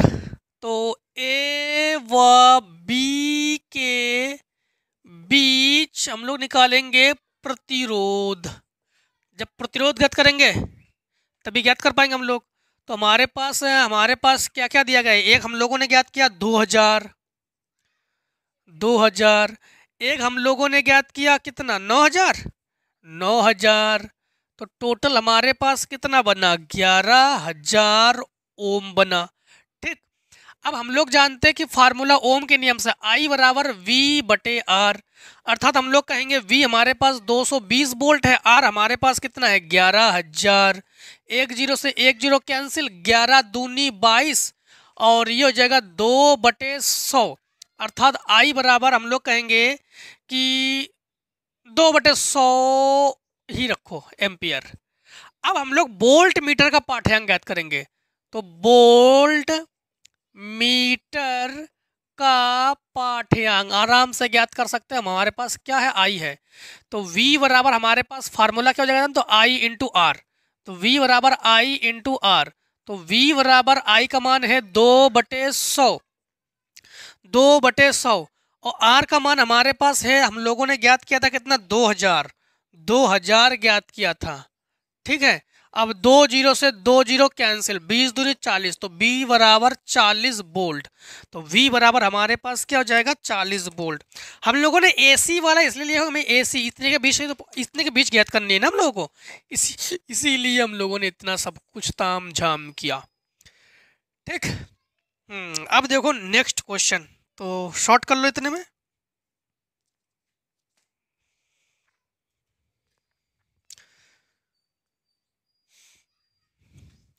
अब देखो क्वेश्चन नंबर हम लोग जो करेंगे, हम लोग पाँचवें का गा। पाँचवें गा में क्या है कि एम्पियर के परिपति नियम की सहायता से सीधे लंबे धारावाही छाला के कारण के चुंबकीय क्षेत्र का सूत्र जो है, व्युत्पन्न कीजिए। ये तुम लोग कर चुके हैं सेट चार में। आपको बताते हैं सेट चार में हम लोग इसको कर चुके हैं। ठीक है? सेट चार में। आ, सीधे लंबे तार। हम्म। हाँ तो इसको आप लोग जो ना आप लोगों से एक हम्बल रिक्वेस्ट है कि इसको, इसको जो है आप लोग सेट चार में विज़िट कर लीजिए। क्योंकि सेट चार में इसको हम बता चुक चुके हैं। ठीक? अभी जस्ट और अगर डायरेक्ट इस वीडियो में आए हो। ठीक है? अब आगे क्वेश्चन देखिए। आपका सेट चार क्वेश्चन नंबर आपको, चलो काफ़ी क्वेश्चन हाँ एक क्वेश्चन नंबर मिल गई है तीसरे का खा, तीसरे का खा, तीसरे का खा हम लोग बता चुके हैं, ठीक है? तो सेट चार, तीसरे का खा। अब देखो आप लोग क्वेश्चन नंबर पाँचवें का घा। पाँचवें घा में है, चित्र में प्रदर्शित एक पारदर्शी गुट के यानी स्लेब के पृष्ठ ए बी पर प्रकाश की किरण 45 डिग्री कोण पर आपतित होती है। गुटके के पदार्थ के न्यूनतम अपवर्तनांक यन का मान आप लोग ज्ञात कीजिए, जब प्रकाश किरण का उच्च बीसी से पूर्ण आंतरिक परिवर्तन होता है। देखो तो हम लोग करेंगे पाँचवें का घा। पाँचवें का घा तो उत्तर हम लोग करेंगे पाँच और घा, ठीक? पाँच और घा। तो पाँच के घा में है, इस प्रकार से पहले चित्र बनाते हैं। इस प्रकार से चित्र है हमारे पास एक, और यहाँ पर है अभिलंब, और इस प्रकार से किरणें आपतित हो रही है, जो कि 45 डिग्री पर है। और यहाँ पर अपवर्तनांक यन है, और यहाँ पर हमारे पास भुजाए ए बी सी डी है। ए बी सी डी है। अब देखो, यहाँ पर जब हम लोग ज्ञात करेंगे तो हम लोग चित्र अनुसार हम लोग जानते हैं स्नेल चित्र अनुसार यानी हम लोग कहेंगे चित्र अनुसार हम लोग लगा देंगे स्नेल का नियम। स्नेल का नियम क्या होता है जानते हो आप लोग? साइन आई बटे साइन आर। तो यन बराबर साइन आई बटे साइन आर। यन का मान हम लोग जो है देखो यहाँ पर आ, यन का मान ज्ञात कीजिए। तो यन का मान जो है हम लोग ज्ञात करेंगे। यन का मान जो है हम लोग ज्ञात करेंगे। अब यहाँ पर हम लोग कहेंगे यन बराबर, आपतन कोड आई तो साइन पैतालीस। बटे, अब देखो साइन आर को जो है हम लोग साइन आर ही लिखेंगे क्योंकि साइन आर का मान हमारे पास बिल्कुल कुछ भी नहीं है। तो हम लोग कहेंगे साइन आर। साइन 45 का मान हम लोग जानते हैं कि साइन 45 का मान एक बटे अंडर रूट दो। तो ये एन बराबर एक बटे अंडर रूट दो साइन आर साइन को यहाँ पहुँचा दो एन को यहाँ पहुँचा दो। तो साइन आर बराबर एक बटे अंडर रूट दो एन अभी हम लोगों ने कुछ भी नहीं ज्ञात किया, ठीक है? केवल साइन आर हम लोगों ने ज्ञात किया। अब यहाँ पर एक चीज़ आपको नोटिस करनी है कि हम लोग यहाँ पर यहाँ से यहाँ तक पृष्ठ ए भी तो हम लोगों ने कर लिया, हम लोग ज्ञात करेंगे पृष्ठ अब बीसी के लिए। पृष्ठ बीसी के लिए मतलब समझना यहाँ पर इनका लास्ट में ये भी कथन है कि जब प्रकाश किरण का ऊर्ध पृष्ठ बीसी से पूर्ण आंतरिक परावर्तन होता है तब तो इसीलिए हम लोग पृष्ठ बीसी के लिए ज्ञात कर रहे हैं। तो तो बीसी के लिए क्या हो जाएगा हमारे पास? देखो, एक बटे यन बराबर, ठीक? एक बटे यन बराबर। वैसे पूर्ण आंतरिक परावर्तन हम लोग जानते हैं, फार्मूला क्या होता है जानते हो? एन बराबर एक बटे साइन सी तो हम लोग कहेंगे कि एन बराबर एक बटे साइन अब बी सी का मतलब है हम लोग नाइन्टी से माइनस कर रहे हैं तो हमारे पास हो जाएगा नाइन्टी माइनस आर यहाँ पर देखो, नब्बे से तो माइनस है आर है हमारे पास। तो यहाँ पर एन बराबर हमारे पास एक बटे कॉस आर क्योंकि साइन नब्बे माइनस थीटा कॉस थीटा था कॉस आर तो इसको पहुँचाओ यहाँ पर, इसको पहुँचाओ यहाँ पर। तो ये जो है कॉस आर बराबर एक बटे यन समीकरण डाल दो दो इसे डाल दो, समीकरण एक। हम लोग कहेंगे समीकरण एक व दो को, दो का, एक व दो को वर्ग करके जोड़ने पर। ये क्लास इलेवेंथ की मैथ में हम लोग पढ़ चुके थे बायोलॉजी थोड़ा बहुत दिक्कत आ सकती है बायोलॉजी वालों को। वर्ग करके जोड़ने पर। तो इसका वर्ग करेंगे तो ये जगह साइन स्क्वायर आर प्लस इसे वर्ग करेंगे तो ये हो जाएगा कॉस स्क्वायर आर बराबर। इसे एक बटे दो एन स्क्वायर एक बटे दो एन स्क्वायर प्लस एक बटे एन स्क्वायर ये। तो ये sine square R cos square R ये तो हो गया हमारे पास एक। इन दोनों का एलसीएम हो जाएगा दो एन स्क्वायर तो दो की एक प्लस दो की कमी है तो यहाँ पर दो। तो ये हो गया हमारे पास यहाँ पे पहुँचा दो। तो ये जगह दो एन स्क्वायर बराबर तीन, इसको बटे में पहुँचा दो। तो एन स्क्वायर बराबर तीन बटे दो, अर्थात हम लोग कहेंगे एन बराबर अंडर रूट तीन बटे दो। मतलब ये दोनों ही अंडर रूट के अंदर है। एन बराबर अंडर रूट तीन बटे दो। देख लेते हैं अकबर आंसर क्या है इसका आंसर आंसर ठीक है अंडर रूट तीन बटे दो। तो हम लोग कर लेंगे इसका आंसर। अंडर रूट तीन बटे दो। अब देखो, क्वेश्चन नंबर जो है, हम लोग करेंगे इसका अथवा, पाँच में घा का अथवा। तो हम लोग लिखेंगे उत्तर पाँच और घा और अथवा। उत्तर पाँच, घा और अथवा। देखो, पाँच, घा और अथवा। अथवा में है दस सेंटीमीटर वक्रता त्रिज्या वाले, सबसे पहले हम लोग लिख लेते हैं एन जी बराबर हमारे पास क्या है? एन जी बराबर हमारे पास कांच का अपवर्तनांक है, हमारे पास तीन बटे दो। इसके बाद एन डब्ल्यू यानी जल का अपवर्तनांक है हमारे पास चार बटे तीन। दस सेंटीमीटर वक्रता त्रिज्या वाले, दस सेंटीमीटर वक्रता त्रिज्या वाले, ठीक हाँ और दुई उत्तल लेंस संपर्क रखे दोनों लेंसों के बीच जल में भरा है। संयुक्त लेंस की क्षमता तथा प्रकृति ज्ञात कीजिए और चित्र देखें। चित्र हमारे पास दिया गया है। चित्र आप लोग देख सकते हो, इस प्रकार से है। यू यू यू यू और यू उत्तल लेंस भी है, जो कि इसमें जो है हम लोग जल भर देते हैं। ठीक, यू। अब हमारे पास त्रिज्या जो है दस सेंटीमीटर है तो हम लोग कहेंगे आर बराबर हमारे पास क्या है? दस सेंटीमीटर। यहाँ पर हम लोग फार्मूला लगा देंगे। फार्मूला क्या लगा देंगे? समझना आप लोग। लेंस मेकर का फार्मूला हम लोग जानते हैं लेंस मेकर के सूत्र से। यानी पतले लेंस के लिए सूत्र। तो एक बटे यब बराबर यन माइनस वन और एक बटे आर वन माइनस एक बटे आर टू। एक बटे आर वन माइनस एक बटे आर टू। इस फार्मूले से हम लोग लगाएँगे। यहाँ पर एक बटे यफ को तो एक बटे यफ लिखेंगे। यन का मान हमारे पास हम लोग लेंगे अभी जल में चार बटे तीन माइनस एक। अब बात आती है आर वन और आर टू की। आर वन और आर टू की। तो अभी हम लोग आर वन, आर टू कुछ नहीं ले रहे। हम लोग क्या कर रहे हैं कि एक बटे आर और एक बटे आर। दोनों आर वन आर टू दोनों ही आ रहे लेकिन हमारे पास ध्यान रखना कि अगर सापेक्ष में जाते हैं तो एक आर प्लस में विपरीत जाते हैं तो एक आर हमारे पास त्रिज्या क्या हो जाएगी? माइनस में। त्रिज्या क्या हो जाएगी? हमारे पास माइनस में। तो मान लो कि यहाँ पर हम लोग ये आर हमारे पास माइनस में तो ये यहाँ पर प्लस में। तो यहाँ पर हम लोग कहेंगे चार, तीन एकम तीन, चार से घट गया तो हमारे पास एक बटे एफ़ बराबर। एक बटे तीन इंटू दो बटे आर अर्थात हम लोग कहेंगे दो बटे तीन आर। कौन सा अपवर्तनांक से हम लोग जल का जब अपवर्तनांक लेंगे? अब फिर से एक बार समझना। फिर से एक बार हम लोग फार्मूला लगा देंगे। फार्मूला लगा देंगे एक बटे यब बराबर। एन माइनस वन एक बटे आर वन माइनस एक बटे आर टू। ये फार्मूला एक बार और लगा देंगे। जब एक बार और लगा देंगे तो हमारे पास यहाँ पर हम लोग लेंगे। एक बटे यब बराबर, यहाँ पर तीन बटे दो माइनस एक। अब आती है आर वन और आर टू की जगह हम लोग क्या लेंगे? ठीक, आर वन और आर टू की जगह। तो अब की बार हम लोग इसे माइनस ले रहे हैं। तो माइनस एक बटे आर माइनस एक बटे आर।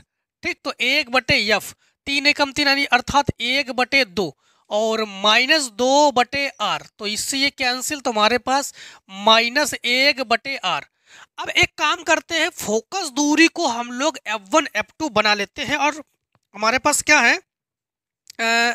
संयुक्त लेंस की क्षमता, यानी P ज्ञात करेंगे ना हम लोग? क्या करेंगे? P और प्रकृति भी हम लोग ज्ञात करेंगे। तो संयुक्त लेंस की क्षमता तो हम लोग कहेंगे यब बराबर। समझना आप लोग। यब बराबर हमारे पास फार्मूला होता है एक बटे यफ वन प्लस एक बटे एफ़ टू तो एक को वन कर लेते हैं, एक को टू कर लेते हैं। एक चीज़ समझना आप लोग, चीज़ आपको यह समझना है कि इसमें जब हम लोग फोकस दूरी को करेंगे प्लस एक बटे एफ़ वन और ऐड करेंगे इसमें, क्यों इसकी अगर लेंगे हम लोग तो देखो इसमें क्वेश्चन के अकॉर्डिंग ही है यहाँ पर। आपको दिखाते हैं क्वेश्चन के अकॉर्डिंग ही हम लोग लेंगे। इनका कहना है कि दोनों लेंसों के बीच जल है, तब इसीलिए हम लोग एक एक बटे एफ़ बराबर लेंगे। तो हमारे पास यहाँ पर, समझना, एक बटे एफ़ बराबर, एक बटे एफ़ वन का मान क्या हमारे पास? एफ़ वन का मान है हमारे पास दो बटे तीन आर प्लस दो बटे, एक काम कर लो, अब लोग इसको बाद में निकालते हैं, हम लोग इसको इसको एफ़ टू मानो और इसको एफ़ वन मानो। तो एक बटे माइनस माइनस एक बटे आर माइनस एक बटे आर दो बार हाँ? तो एक बटे एफ़ बराबर दो बटे तीन आर माइनस दो बटे आर अर्थात हम लोग कहेंगे तीन आर एलसीएम है। तो दो और माइनस दो माइनस तीन दूनी छ तो चार आर तो एक बटे यब बराबर माइनस चार इंटू तीन इंटू आर का मान दस है, देखो। आर का मान दस है तो हम लोग कहेंगे यहाँ पर दो दुनी चार और ये पाँच, ठीक? तो हम लोग कहेंगे कि ये दो बटे पंद्रह, दो बटे पंद्रह। अब क्षमता ज्ञात करेंगे तो पी बराबर फार्मूला एक बटे एफ़ वो भी मीटर में, वो भी किसमें मीटर में। तो पी बराबर हम लोग लिखेंगे माइनस दो बटे पंद्रह, मीटर के लिए हम लोग इंटू में क्या कर देंगे हम लोग? सौ। ठीक तो पाँच से काटो। तो पाँच से जब काटेंगे हम लोग तो पाँच तिया पंद्रह, पाँच दूनी दस। बीस दूनी चालीस तो माइनस चालीस बटे तीन तो P बराबर माइनस तेरह तिया उनतालीस तो तेरह दशमलव तीन तीन मीटर। बस यही हमारे पास आंसर है।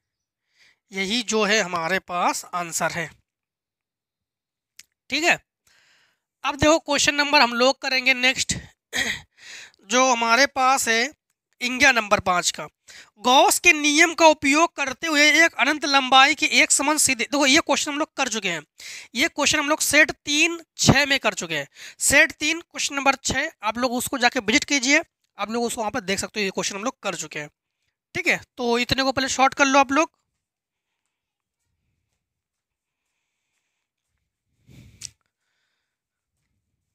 तो क्वेश्चन नंबर हम लोग करेंगे छः क्वेश्चन छह में है, प्रकाश का विवर्तन क्या है? एक स्लिट, एक वर्णी प्रकाश विवर्तन के रूप में केंद्रीय उच्चिष्ट कोड़ाई दोस्तों, आपको बता दें कि यह क्वेश्चन भी हम लोग कर चुके हैं। हम लोग कंटिन्यू सेट पढ़ते आ रहे 2022 का सेट पहला क्वेश्चन छः का अथवा हम लोग कर चुके हैं। उसको जाकर ज़रूर विज़िट कर लीजिए आप लोग। इस क्वेश्चन को विज़िट कर लीजिए, ठीक है? अब देखो क्वेश्चन हम लोग करेंगे छः का अथवा। हाँ छः का अथवा छः के अथवा को देखो। छः के अथवा में है तो लिखेंगे हम लोग उत्तर छः और अथवा। उत्तर छः और अथवा। छः के अथवा में है कि यंग के द्विक प्रयोग में दो तरंग धैर्य छः छः हज़ार एंगस्ट्राम और पाँच हज़ार एंगस्ट्राम के प्रकाश को प्रयुक्त किया जाता है। स्लिटों के बीच की दूरी एक मिलीमीटर था। स्लिटों व पर्दों के बीच की दूरी एक मीटर है, तब ज्ञात कीजिए नंबर एक छः हज़ार एंगस्ट्राम तरंग धैर्य के लिए पर्दों की उच्चिष्ट अदीप्त फ्रिंजों की और दीप्त फ्रिंजों की दूरी आप लोग ज्ञात करोगे। ध्यान रखना। लेमडा वन हमारे पास क्या है? छः हज़ार एंगेस्ट्राम। लेमडा वन जो है हमारे पास क्या है? छः हज़ार एंगेस्ट्राम, ठीक? और लेमडा टू हमारे पास पाँच हज़ार एंगेस्ट्राम। लेमडा टू जो है हमारे पास क्या है? पाँच हज़ार एंगेस्ट्राम है, ठीक है? अब हमारे पास इसको मीटर में कन्वर्ट करना चाहे तो मीटर में कन्वर्ट करेंगे हम लोग। छः हज़ार इंटू दस की घात माइनस दस मीटर। और ये पाँच हज़ार इंटू दस की घात माइनस दस मीटर। अब देखो, दोनों की दूरी अलग अलग है।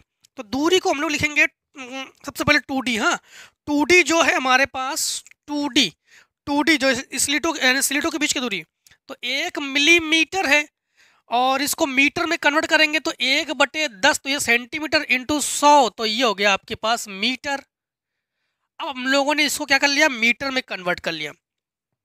तो इसको हम लोग ऐसे कर सकते हैं कि एक है।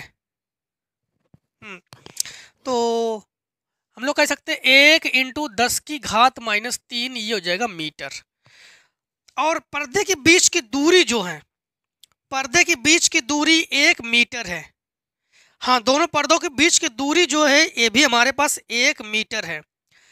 तो हम लोग कहेंगे, जो कैपिटल डी है, ये हमारे पास है एक मीटर। इसको मिलीमीटर हाँ तो दस इंटू दस की घात माइनस ठीक है। अब देखो, यहाँ पर हमारे पास इनका पहला क्वेश्चन है, तरंग धर के लिए पर्दे पर केंद्रीय उच्च से द्वितीय अधिप्त फ्रिंजों की दूरी गत कीजिए, द्वितीय अधिप्त फ्रिंजों की दूरी। तो फार्मूला लगा देंगे हम लोग सबसे पहले। पहला नंबर हमसे पूछ रहे पूछ रहा है, इनका कहना है, छह हज़ार एंगस्ट्रॉम तरंग धैर्य के लिए पर्दे पर केंद्रीय उच्चिष्ट से द्वितीय अधिप्त फ्रिंजों की दूरी तो हम लिखेंगे x बराबर, यानी x2 मतलब हो गया द्वितीय वाले हाँ x2 बराबर। तो निगमन हम लोग कर चुके हैं तो x2 बराबर हमारे पास है two N minus two formula two N minus one by two ठीक two N minus one by two D lambda बटे टू डी तो डी लेमडा बटे टू डी। हम्म। अब समझना आप लोग। यहाँ पर जो है मान रखेंगे हम लोग।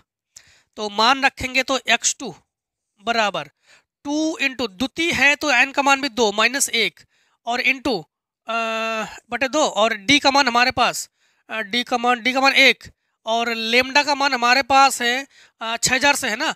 तो छः हज़ार इंटू दस की घात माइनस दस बटे टू डी टू डी का मान हमारे पास है दस इंटू दस की घात माइनस तीन, ठीक? अब यहाँ से हम लोग कर लेंगे दो दूनी चार से घटा लेंगे तो तीन तो यक्स टू बराबर हमारे पास तीन बटे दो इंटू एक ज़ीरो से एक ज़ीरो कैंसिल कर लो तो छः सौ इंटू दस की घात माइनस दस बटे दस की घात माइनस तीन, इसको काटो दो तिया छः तो तीन तरीका नौ तो यक्स टू बराबर, तीन तरीका नौ इंटू दस की घात ये दो, एक दो इंटू माइनस दस और प्लस तीन, अर्थात पाँच तो ये हो जाएगा नौ इंटू दस की घात माइनस पाँच, नौ इंटू दस की घात माइनस पाँच, ठीक? तो माइनस पाँच हम लोग लिखेंगे, क्या दर आंसर आप एक बार चेक कर लेते हैं? ज़ीरो दशमलव नौ मिलीमीटर तो ज़ीरो दशमलव नौ मिलीमीटर पाँच सही है? एक बार चेक कर लेते हैं। पाँच हाँ ये दो। हम्म ठीक है। तो हम लोग कहेंगे एक्स टू बराबर हमारे पास ज़ीरो दशमलव नौ यह जाएगा मिलीमीटर। अगर मिलीमीटर में कन्वर्ट करेंगे तो ये हमारे पास हो जाएगा मिलीमीटर। अब देखो अब देखो हमारे पास दूसरा कंडीशन का क्या कहना है? दूसरा कंडीशन में इनको कहना है, दूसरे कंडीशन में कि पाँच हज़ार एंगस्ट्राम के लिए पर्दे पर केंद्रीय उच्चिष्ट तृतीय दीप्त फ्रिंज की दूरी। तो दीप्त फ्रिंजों की दूरी जो तृतीय के ले लेंगे हम लोग हाँ? तो हमारे पास ये हो जाएगा यक्स थ्री बराबर एन डी लेमडा बटे। ये दीप्त के लिए, ये आदित्य के लिए, अब हम लोग याद करेंगे दीप्त के लिए। तो ये हो जाएगा हमारे पास टू तो देखो, यहाँ पर हम लोग मान रख देंगे। मान रख देंगे हमारे पास। तो यक्स थ्री बराबर ये तीन इंटू डी का मन हमारे पास क्या है? एक इंटू लेमडा का मन हमारे पास क्या है? पाँच हज़ार। और इंटू दस की घात माइनस दस, और टू डी का मान हमारे पास है दस इंटू दस की घात माइनस तीन।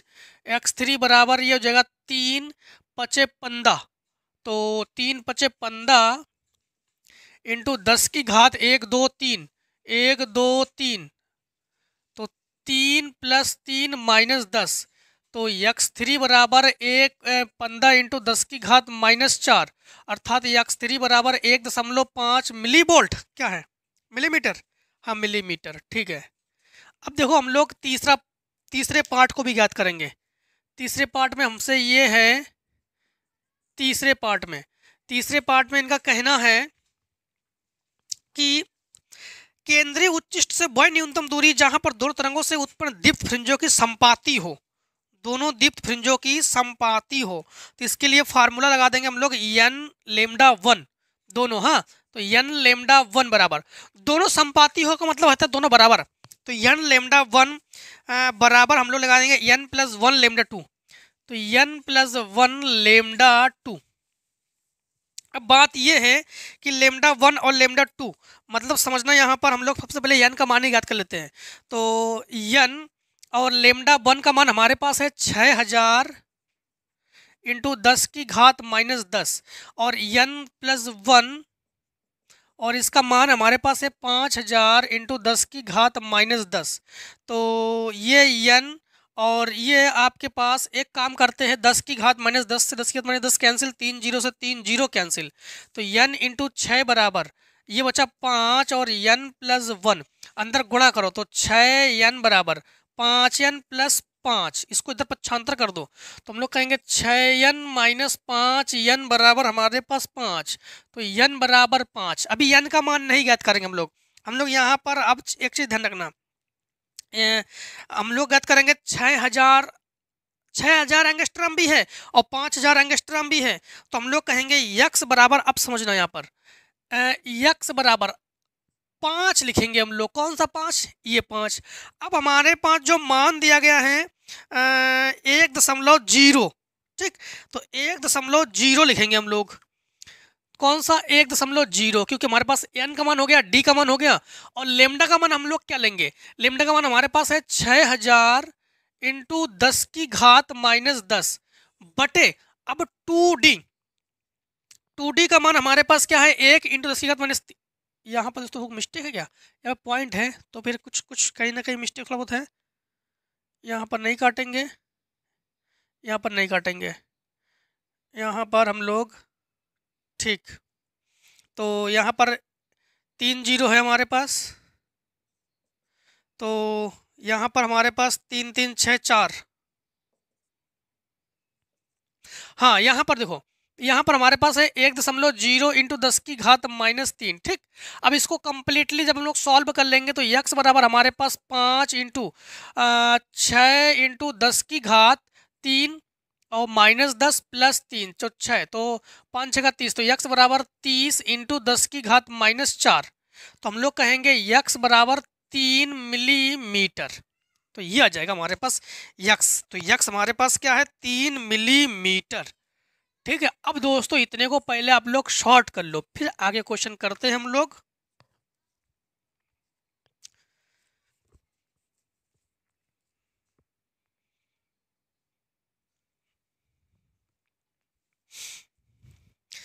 अब देखो क्वेश्चन नंबर हम लोग करेंगे सात को। सात में क्या है? दो समांतर धारावाहिक चालकों के बीच कार्य करने वाले बल के आधार पर एक एम्पियर की परिभाषा कीजिए चित्र में। तो एक एम्पियर की परिभाषा के दी दो चालकों के बीच, धारावाहिक चालकों के बीच कार्य करने वाले बल की एक एम्पियर की परिभाषा दीजिए।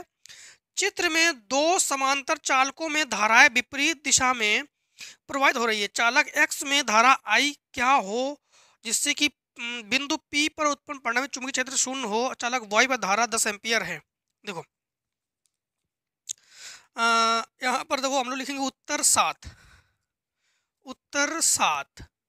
तो हम लोग करेंगे उत्तर सात। ठीक सात में है। इस प्रकार से यक्स है ये जिसमें आई धारा प्रवाहित हो रही है नीचे की ओर और, और ये वाई है जिसमें धारा प्रवाहित हो रही है ऊपर की ओर और, पी बिंदु पर ये 10 एम्पियर की धारा है और ये जो है ये 10 सेंटीमीटर है और ये पाँच सेंटीमीटर है ठीक पाँच सेंटीमीटर है।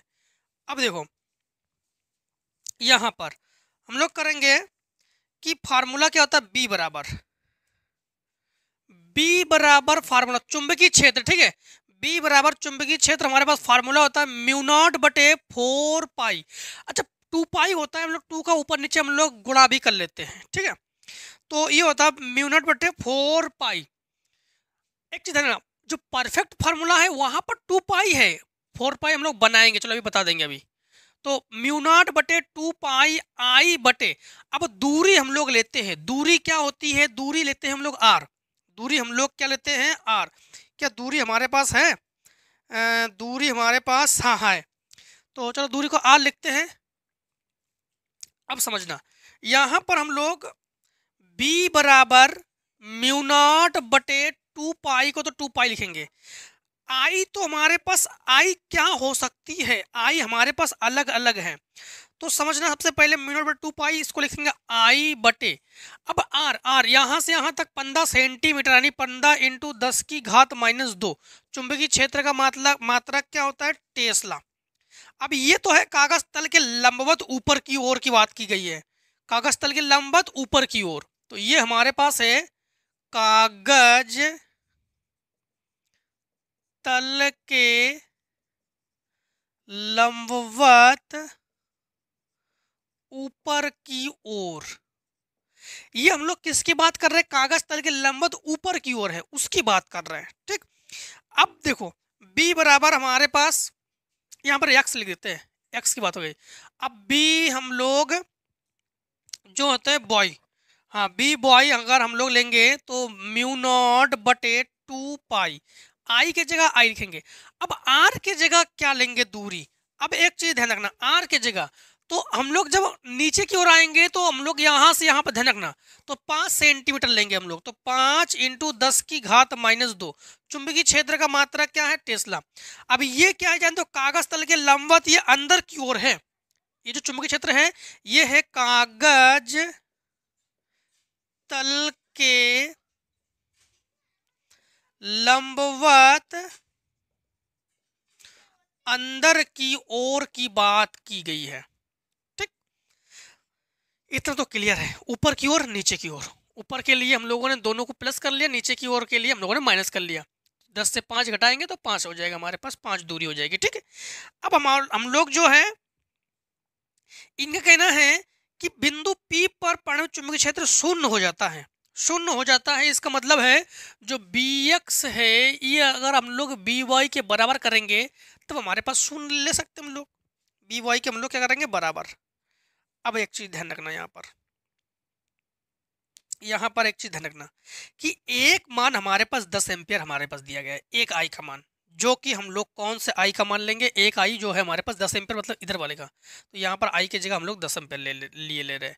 अब हमारे पास जब इस दोनों को बराबर करेंगे तभी तो शून्य होगी ना? तो यहाँ पर देखो हमारे पास म्यू नॉट हाँ इसको लिखो तो म्यू नॉट बटे टू पाई और इंटू आई बटे पंद्रह इंटू दस की घात माइनस दो, बराबर। ये म्यू नॉट बटे टू पाई और ये हमारे पास दस बटे पाँच इंटू दस की घात माइनस दो। ये हमारे पास ये कैंसिल और यहाँ पर हमारे पास दस की घात माइनस दो, दस की घात माइनस दो कैंसिल ठीक? तो आई बटे पंद्रह बराबर दस बटे पाँच पाँच तिया पंद्रह। तो आई बराबर दस तिया तीस एम्पियर। बस यही तो पूछा था हमसे। तो हम लोग कहेंगे दस या तीस एम्पियर, कौन सा ऑप्शन हमारा अच्छा ऑप्शन तो है नहीं। तो आई बराबर दस, यानी तीस एम्पियर हमारे पास क्या? हाँ हाँ सही है। तीस एम्पियर। अब देखो, सातवें का अथवा। तो हम लोग करेंगे सातवें का अथवा। एग्ज़ाम में कोई एक करेंगे, यहाँ पर हम लोग दोनों कर रहे हैं। तो उत्तर सात और अथवा। सात के अथवा में है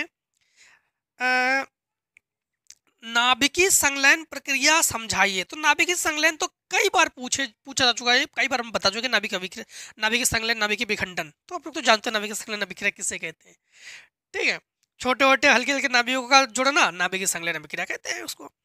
इसकी प्रकृति में, इसका प्रकृति का उदाहरण क्या है आप लोग पता है? One H one one H two, one H three, one H four, reaction two H E four plus zero N one electron ऊर्जा। तो आप लोग बता चुके आप लोग कर चुके हो। सवाल में क्या है? यदि चार न्यूट्रॉन, तीन प्रोटॉन संलयित होकर तीन लिथियम, सात नाभिक बनाए तो कितनी एम ई वी ऊर्जा मुक्त होगी? प्रोटॉन का द्रव्यमान वगैरह हमारे पास दिया गया है। तो प्रोटॉन का द्रव्यमान हमारे पास है। तो हम लिखेंगे प्रोटॉन का द्रव्यमान। तो प्रोटॉन का द्रव्यमान हमारे पास है एक दशमलव ज़ीरो ज़ीरो सात दो आठ atmos atomic mass of unit, यानी A M U atomic mass of unit. Neutron का द्रव्यमान, न्यूट्रॉन का द्रव्यमान एक दशमलव ज़ीरो ज़ीरो आठ छ सात एटॉमिक मास ऑफ़ यूनिट। और इसके बाद लिथियम नाभिक का द्रव्यमान। लिथियम नाभिक का द्रव्यमान सात दशमलव ज़ीरो एक चार तीन छ एटॉमिक मास ऑफ़ यूनिट और एक एटॉमिक मास ऑफ़ यूनिट बराबर हमारे पास है नौ सौ इकतीस M E V mega electron volt तो लिथियम में आप लोगों कितनी आप लोगों की ऊर्जा जो निकलेगी ये इनका कहना है। तो समझना।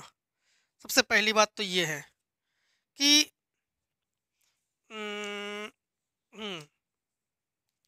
फार्मूला देखो। तो हम लोग निकालेंगे ली हमसे इनका कहना है कि लिथियम लिथियम नाभिक, यानी थ्री एल आई सेवन नाभिक बनाए तो कितनी एम ई वी ऊर्जा मुक्त होगी? कितनी एम मुक्त होगी। सबसे पहले तो ऊपर हमारे पास चार न्यूट्रॉन और तीन प्रोटॉन हमारे पास संगलित होकर तो हम लोग लिखेंगे चार न्यूट्रॉन प्लस तीन प्रोटॉन का द्रव्यमान। तो चार न्यूट्रॉन प्लस तीन प्रोटॉन का द्रव्यमान। देखो हमारे पास ये दिया गया है, चार न्यूट्रॉन प्लस तीन प्रोटॉन संगलित होकर संगलित मतलब जुड़कर तो लिखेंगे हम लोग तीन प्रोटॉन का द्रव्यमान। ठीक? हम्म तो अब समझना आप लोग। हम लोग लिखेंगे चार इंटू चार इंटू न्यूट्रॉन का द्रव्यमान हमारे पास क्या है? एक दशमलव ज़ीरो ज़ीरो आठ छ सात प्लस तीन प्रोटॉन का द्रव्यमान तो तीन इंटू तीन प्रोटॉन का द्रव्यमान। एक दशमलव ज़ीरो ज़ीरो सात दो आठ। तो गुणा कर लेंगे हम लोग तो सात चौक अट्ठाईस बचा दो सात छिंग बयालीस और दो चवालीस बचा चार, आठ चौक बत्तीस और चार छत्तीस, चार एकम चार, प्लस तीन आठ तरीका चौबीस बचा दो, तीन दूनी छः दो आठ, सात या इक्कीस, ज़ीरो दशमलव तीन, इन दोनों को जोड़ लेंगे तो सात दशमलव ज़ीरो का ज़ीरो, तीन दो पाँच छ और एक सा। उल्टा जोड़ रहे हैं। इधर देखो। चार, आठ, चार, बारह। आठ, चार, बारह बचा एक और एक तेरह। आठ, चार, बारह और आठ, चार, बारह और एक तेरह बचा एक। एक और छ और सात और एक आठ। दो और तीन पाँच, ज़ीरो दशमलव, यानी सात दशमलव ज़ीरो पाँच आठ तीन दो एटॉमिक मास ऑफ़ यूनिट तो हमारे पास दिया गया था, ठीक है? अब हम लोगों ने ये कंप्लीटली हम लोगों ने ये ज्ञात कर लिया। अब द्रव्यमान क्षति ज्ञात कर लेंगे हम लोग। द्रव्यमान क्षति ज्ञात करते हैं। क्या ज्ञात करते हैं? द्रव्यमान क्षति। तो देखो, द्रव्यमान क्षति जब हम लोग ज्ञात करेंगे तो द्रव्यमान द्रव्यमान क्षति। द्रव्यमान क्षति बराबर हम लोग फार्मूला क्या लगाएँगे जानते हो? हमारे पास क्या क्या देगा चार न्यूट्रॉन, तीन प्रोटॉन। तो हम लिखेंगे हम लोग चार न्यूट्रॉन प्लस तीन प्रोटॉन। चार न्यूट्रॉन प्लस तीन प्रोटॉन का द्रव्यमान। का द्रव्यमान माइनस। इसका द्रव्यमान लगाएँगे हम लोग, ठीक है? माइनस, हम लोग लिथियम का लिथियम का द्रव्यमान लगाएँगे। लिथियम का द्रव्यमान। हम लोग लिथियम का द्रव्यमान ही ज्ञात करेंगे। और द्रव्यमान क्षति हमारे पास दिया गया क्या? द्रव्यमान क्षति हमारे पास नहीं दिया गया है? नहीं दिया गया है। हम्म अब समझना। तो हमारे पास, इस पूरे का मान हमारे पास दिया गया है चार, सात दशमलव ज़ीरो, ये पूरा है, आठ, तीन, दो। माइनस लिथियम का द्रव्यमान हमारे पास है क्या? लिथियम का द्रव्यमान हमारे पास है सात दशमलव हाँ ये है। सात दशमलव ज़ीरो एक चार तीन छ एक बार रिचेक कर लेते हैं। इसका गुड़ा बड़ा सही है? तो सात चौक अट्ठाईस बचा दो। चार चार छिंग चौबीस। देखो, सात चौक अट्ठाईस बचा दो। चार छिंग चौबीस। चौबीस और दो, छब्बीस बचा दो, आठ चौको बत्तीस। मिस्टेक है। गुड़ा इसका देखो, ये मिस्टेक है दोस्तों। फिर से एक बार, सात चौक अट्ठाईस बचा दो, चार छिंग चौबीस, पच्चीस छब्बीस बचा दो, आठ चौको बत्तीस, चार चौंतीस, और ये ज़ीरो, और ये दशमलव, और ये चार। प्लस तीन से गुणा करेंगे तो तीन अट्ठे चौबीस बचा दो, तीन दूनी छः, दो आठ सातिया इक्कीस और ज़ीरो दशमलव तीन। अब जोड़ेंगे तो ये हो गया आठ चार बारह बचा एक, आठ और एक नौ। नौ और छः पंद्रह बचा एक एक और एक दो। दो और चार छ अब दो और तीन पाँच, ज़ीरो दशमलव। तो ये आ गया छप्पन, ठीक? तो ये हमारा हमारे पास है छप्पन बावन। छप्पन बावन। अब ये जब घटा लेंगे तो यहाँ से एक बारह से छ और यहाँ पर चार से एक, यहाँ पर छ से दो, पाँच से चार और ज़ीरो दशमलव ज़ीरो। तो हम लोग कहेंगे ज़ीरो दशमलव चार दो एक छ ये तो हम लोग द्रव्यमान क्षति ज्ञात कर लिया हम लोगों ने। अब हम लोग ज्ञात करेंगे इसकी तुल्य ऊर्जा एम ई बी में। तो तुल्य ऊर्जा तो जब तुल्य ऊर्जा हम लोग ज्ञात करेंगे तो ज़ीरो दशमलव ज़ीरो चार दो एक छः इंटू नौ सौ इकतीस हमारे पास ये दिया गया ना क्षमता है तो यहाँ पर जब इसका मल्टीप्लाई कर लेंगे, आंसर दिया गया क्या इसमें? आंसर दिया गया हाँ उनतालीस दशमलव दो पाँच। तो हम लोग कहेंगे उनतालीस दशमलव दो पाँच, उनतालीस दशमलव दो पाँच एम ई वी बस यही हमारे पास आंसर है। यही जो है हमारे पास आंसर है। ठीक। ठीक है? अब देखो हम लोग जो है क्वेश्चन नंबर कौन सा करेंगे? क्वेश्चन नंबर नौ उभयनिष्ठ उत्सर्जक विन्यास में P N P N P N transistor को प्रवर्धक क्रियाविधि इसको हम लोग कर चुके हैं, इसको हम लोग सेट चार के चार के इंग्या में कर चुके हैं। सेट चार और क्वेश्चन नंबर चार और उसके इंग्या में इसको हम लोग कर चुके हैं। ठीक है? तो उसमें हम लोग देख लीजिए उसमें। और इसके बाद परिपथ में चित्र की सहायता से पीएन संधि डायोड की कार्ड प्रणाली, ये भी हम लोग पीछे ही कर चुके पीएन संधि डायोड दोनों के दोनों हाँ? दोनों दोनों कर चुके हम लोग। क्वेश्चन नंबर नौ पे है। नौ पे है वीट स्टोन सेतु की चार भुजाओ प्रतिरोध। सबसे पहली बात तो हम लोग इस क्वेश्चन को नहीं कर रहे हैं, क्योंकि वीट स्टोन सेतु जो है, अब की बार हमारे एनसीईआरटी में नहीं है। अब की बार, इस बार ही है। इस बार 2023 में ही हटा दिए गए मतलब 24 के एग्ज़ाम में नहीं है। तो इस क्वेश्चन को नहीं कर रहे हैं, फिर भी अगर आपको चाहिए तो हम आप लोग जो ज्वाइन है, उसको हम प्रोवाइड कर देंगे, ठीक है? क्वेश्चन नंबर नौ का अथवा देखो, अथवा तो हमारे पास है। देखो क्वेश्चन नंबर नौ का अथवा। तो हम लोग करेंगे क्वेश्चन नंबर नौ और अथवा, ठीक? तो उत्तर नौ और नौ का हम लोग करने जा रहे हैं अथवा। नौ के अथवा में हमारे पास चित्र है चित्र इस प्रकार से है। यहाँ पर बारह बोल्ट है। यहाँ पर आंतरिक प्रतिरोध है। और यहाँ पर प्रतिरोध है पाँच ओम। यहाँ पर प्रतिरोध है छ ओम। और इसके बाद यहाँ पर धारिता है दो माइक्रोफैरड। यहाँ पर धारिता है तीन माइक्रोफैरड।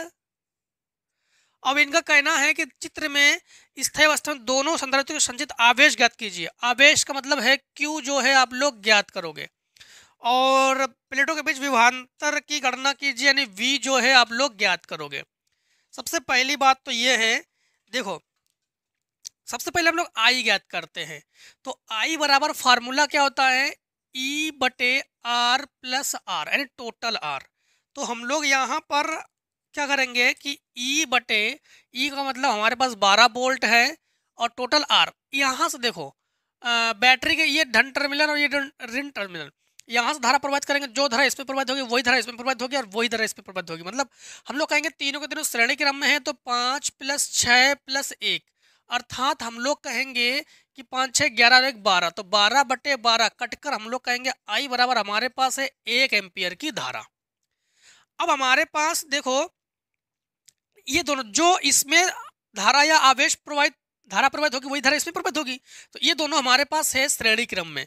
तो हम लोग कहेंगे एक बटे सी बराबर एक बटे दो प्लस एक बटे तीन। अर्थात हम लोग कहेंगे तीन एकम तीन, दो एकम दो, यानी तीन दो पाँच बटे छः अर्थात सी बराबर छः बटे पाँच माइक्रो अब हम लोग यहाँ पर क्यू ज्ञात कर लेंगे आराम से। क्यू बराबर सी वी से।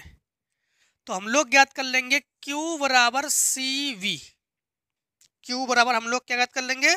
सी बी ठीक? अब एक चीज़ यहाँ पर ध्यान रखना।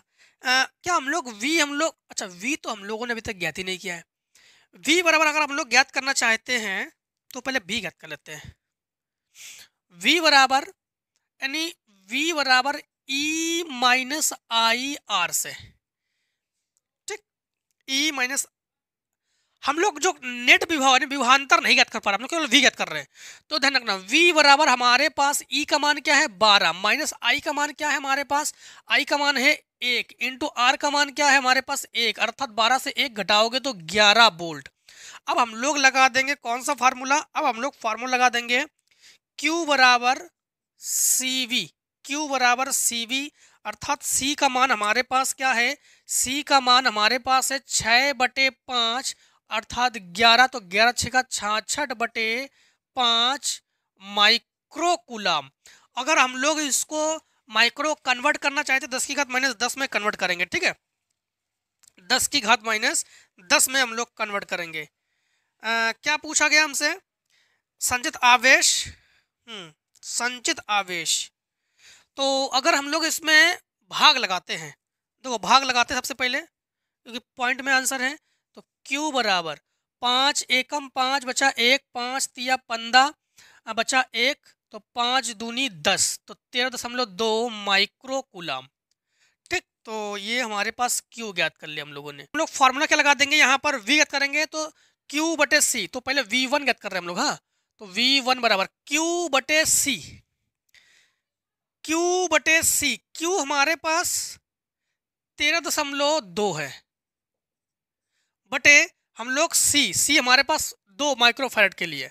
तो दो छिंग बारह तो दो छिंग बारह बचा एक, दो छिंग बारह छः दशमलव छः बोल्ट एक आंसर। अब हम लोग वी टू ज्ञात करेंगे तो वी टू यहाँ ज्ञात कर दे रहे ठीक है? वी टू बराबर। क्यू है तेरह दशमलव दो बटे तीन के लिए तो तीन चौको बारह, तीन चौको बारह।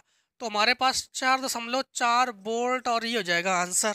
दोनों आंसर हम लोगों ने क्लियर कर लिया है। हम्म, ठीक है। ठीक? तो इस प्रकार से आज हम लोगों ने जो है सेट पाँच को भी हम लोगों ने बी डब्ल्यू को भी कंप्लीटली ख़त्म कर लिया है। अब हम लोग सेट छः बी एक्स में मिलेंगे। ठीक है? तो आज के सेट में दोस्तों इतना ही। जय हिंद जय भारत आप लोग। स्वस्थ रहिए, मस्त रहिए। कोई भी डाउट हो, ज़रूर कमेंट सेक्शन में कमेंट कीजिए। हम उसको प्रोवाइड करते हैं। एक दो दिन डिले कर लेते हैं, क्योंकि हो सकता है कि कभी कभी आपको मैथ भी मैथ भी अनसॉल्व प्रोवाइड करा रहे हैं केमिस्ट्री प्रोवाइड करा रहे हैं और फिजिक्स भी प्रोवाइड प्रोवाइड करवा रहे हैं। इसलिए डिले हो जाते हैं थोड़ा लेट हो जाते हैं। तो इसलिए आप लोग जो कमेंट में ज़रूर अपना कमेंट लिखिए। हम उसको प्रोवाइड करेंगे ज़रूर। ठीक तो आप लोग कोई भी डाउट हो, बोर्ड एग्ज़ाम में वेटर से वेटर तैयारी करने के लिए हम तत्वर है आपके साथ केवल आप हमें मोटिवेट करते रहिए। तो हम मोटिवेट होकर तुरंत आपके कमेंट सेक्शन को पढ़कर तुरंत आपके कमेंट का जवाब देने की कोशिश करेंगे विद वीडियो के साथ। ठीक तो आज की वीडियो दोस्तों इतना ही। जय हिंद, जय भारत। तो टेक स्क्रीन शॉट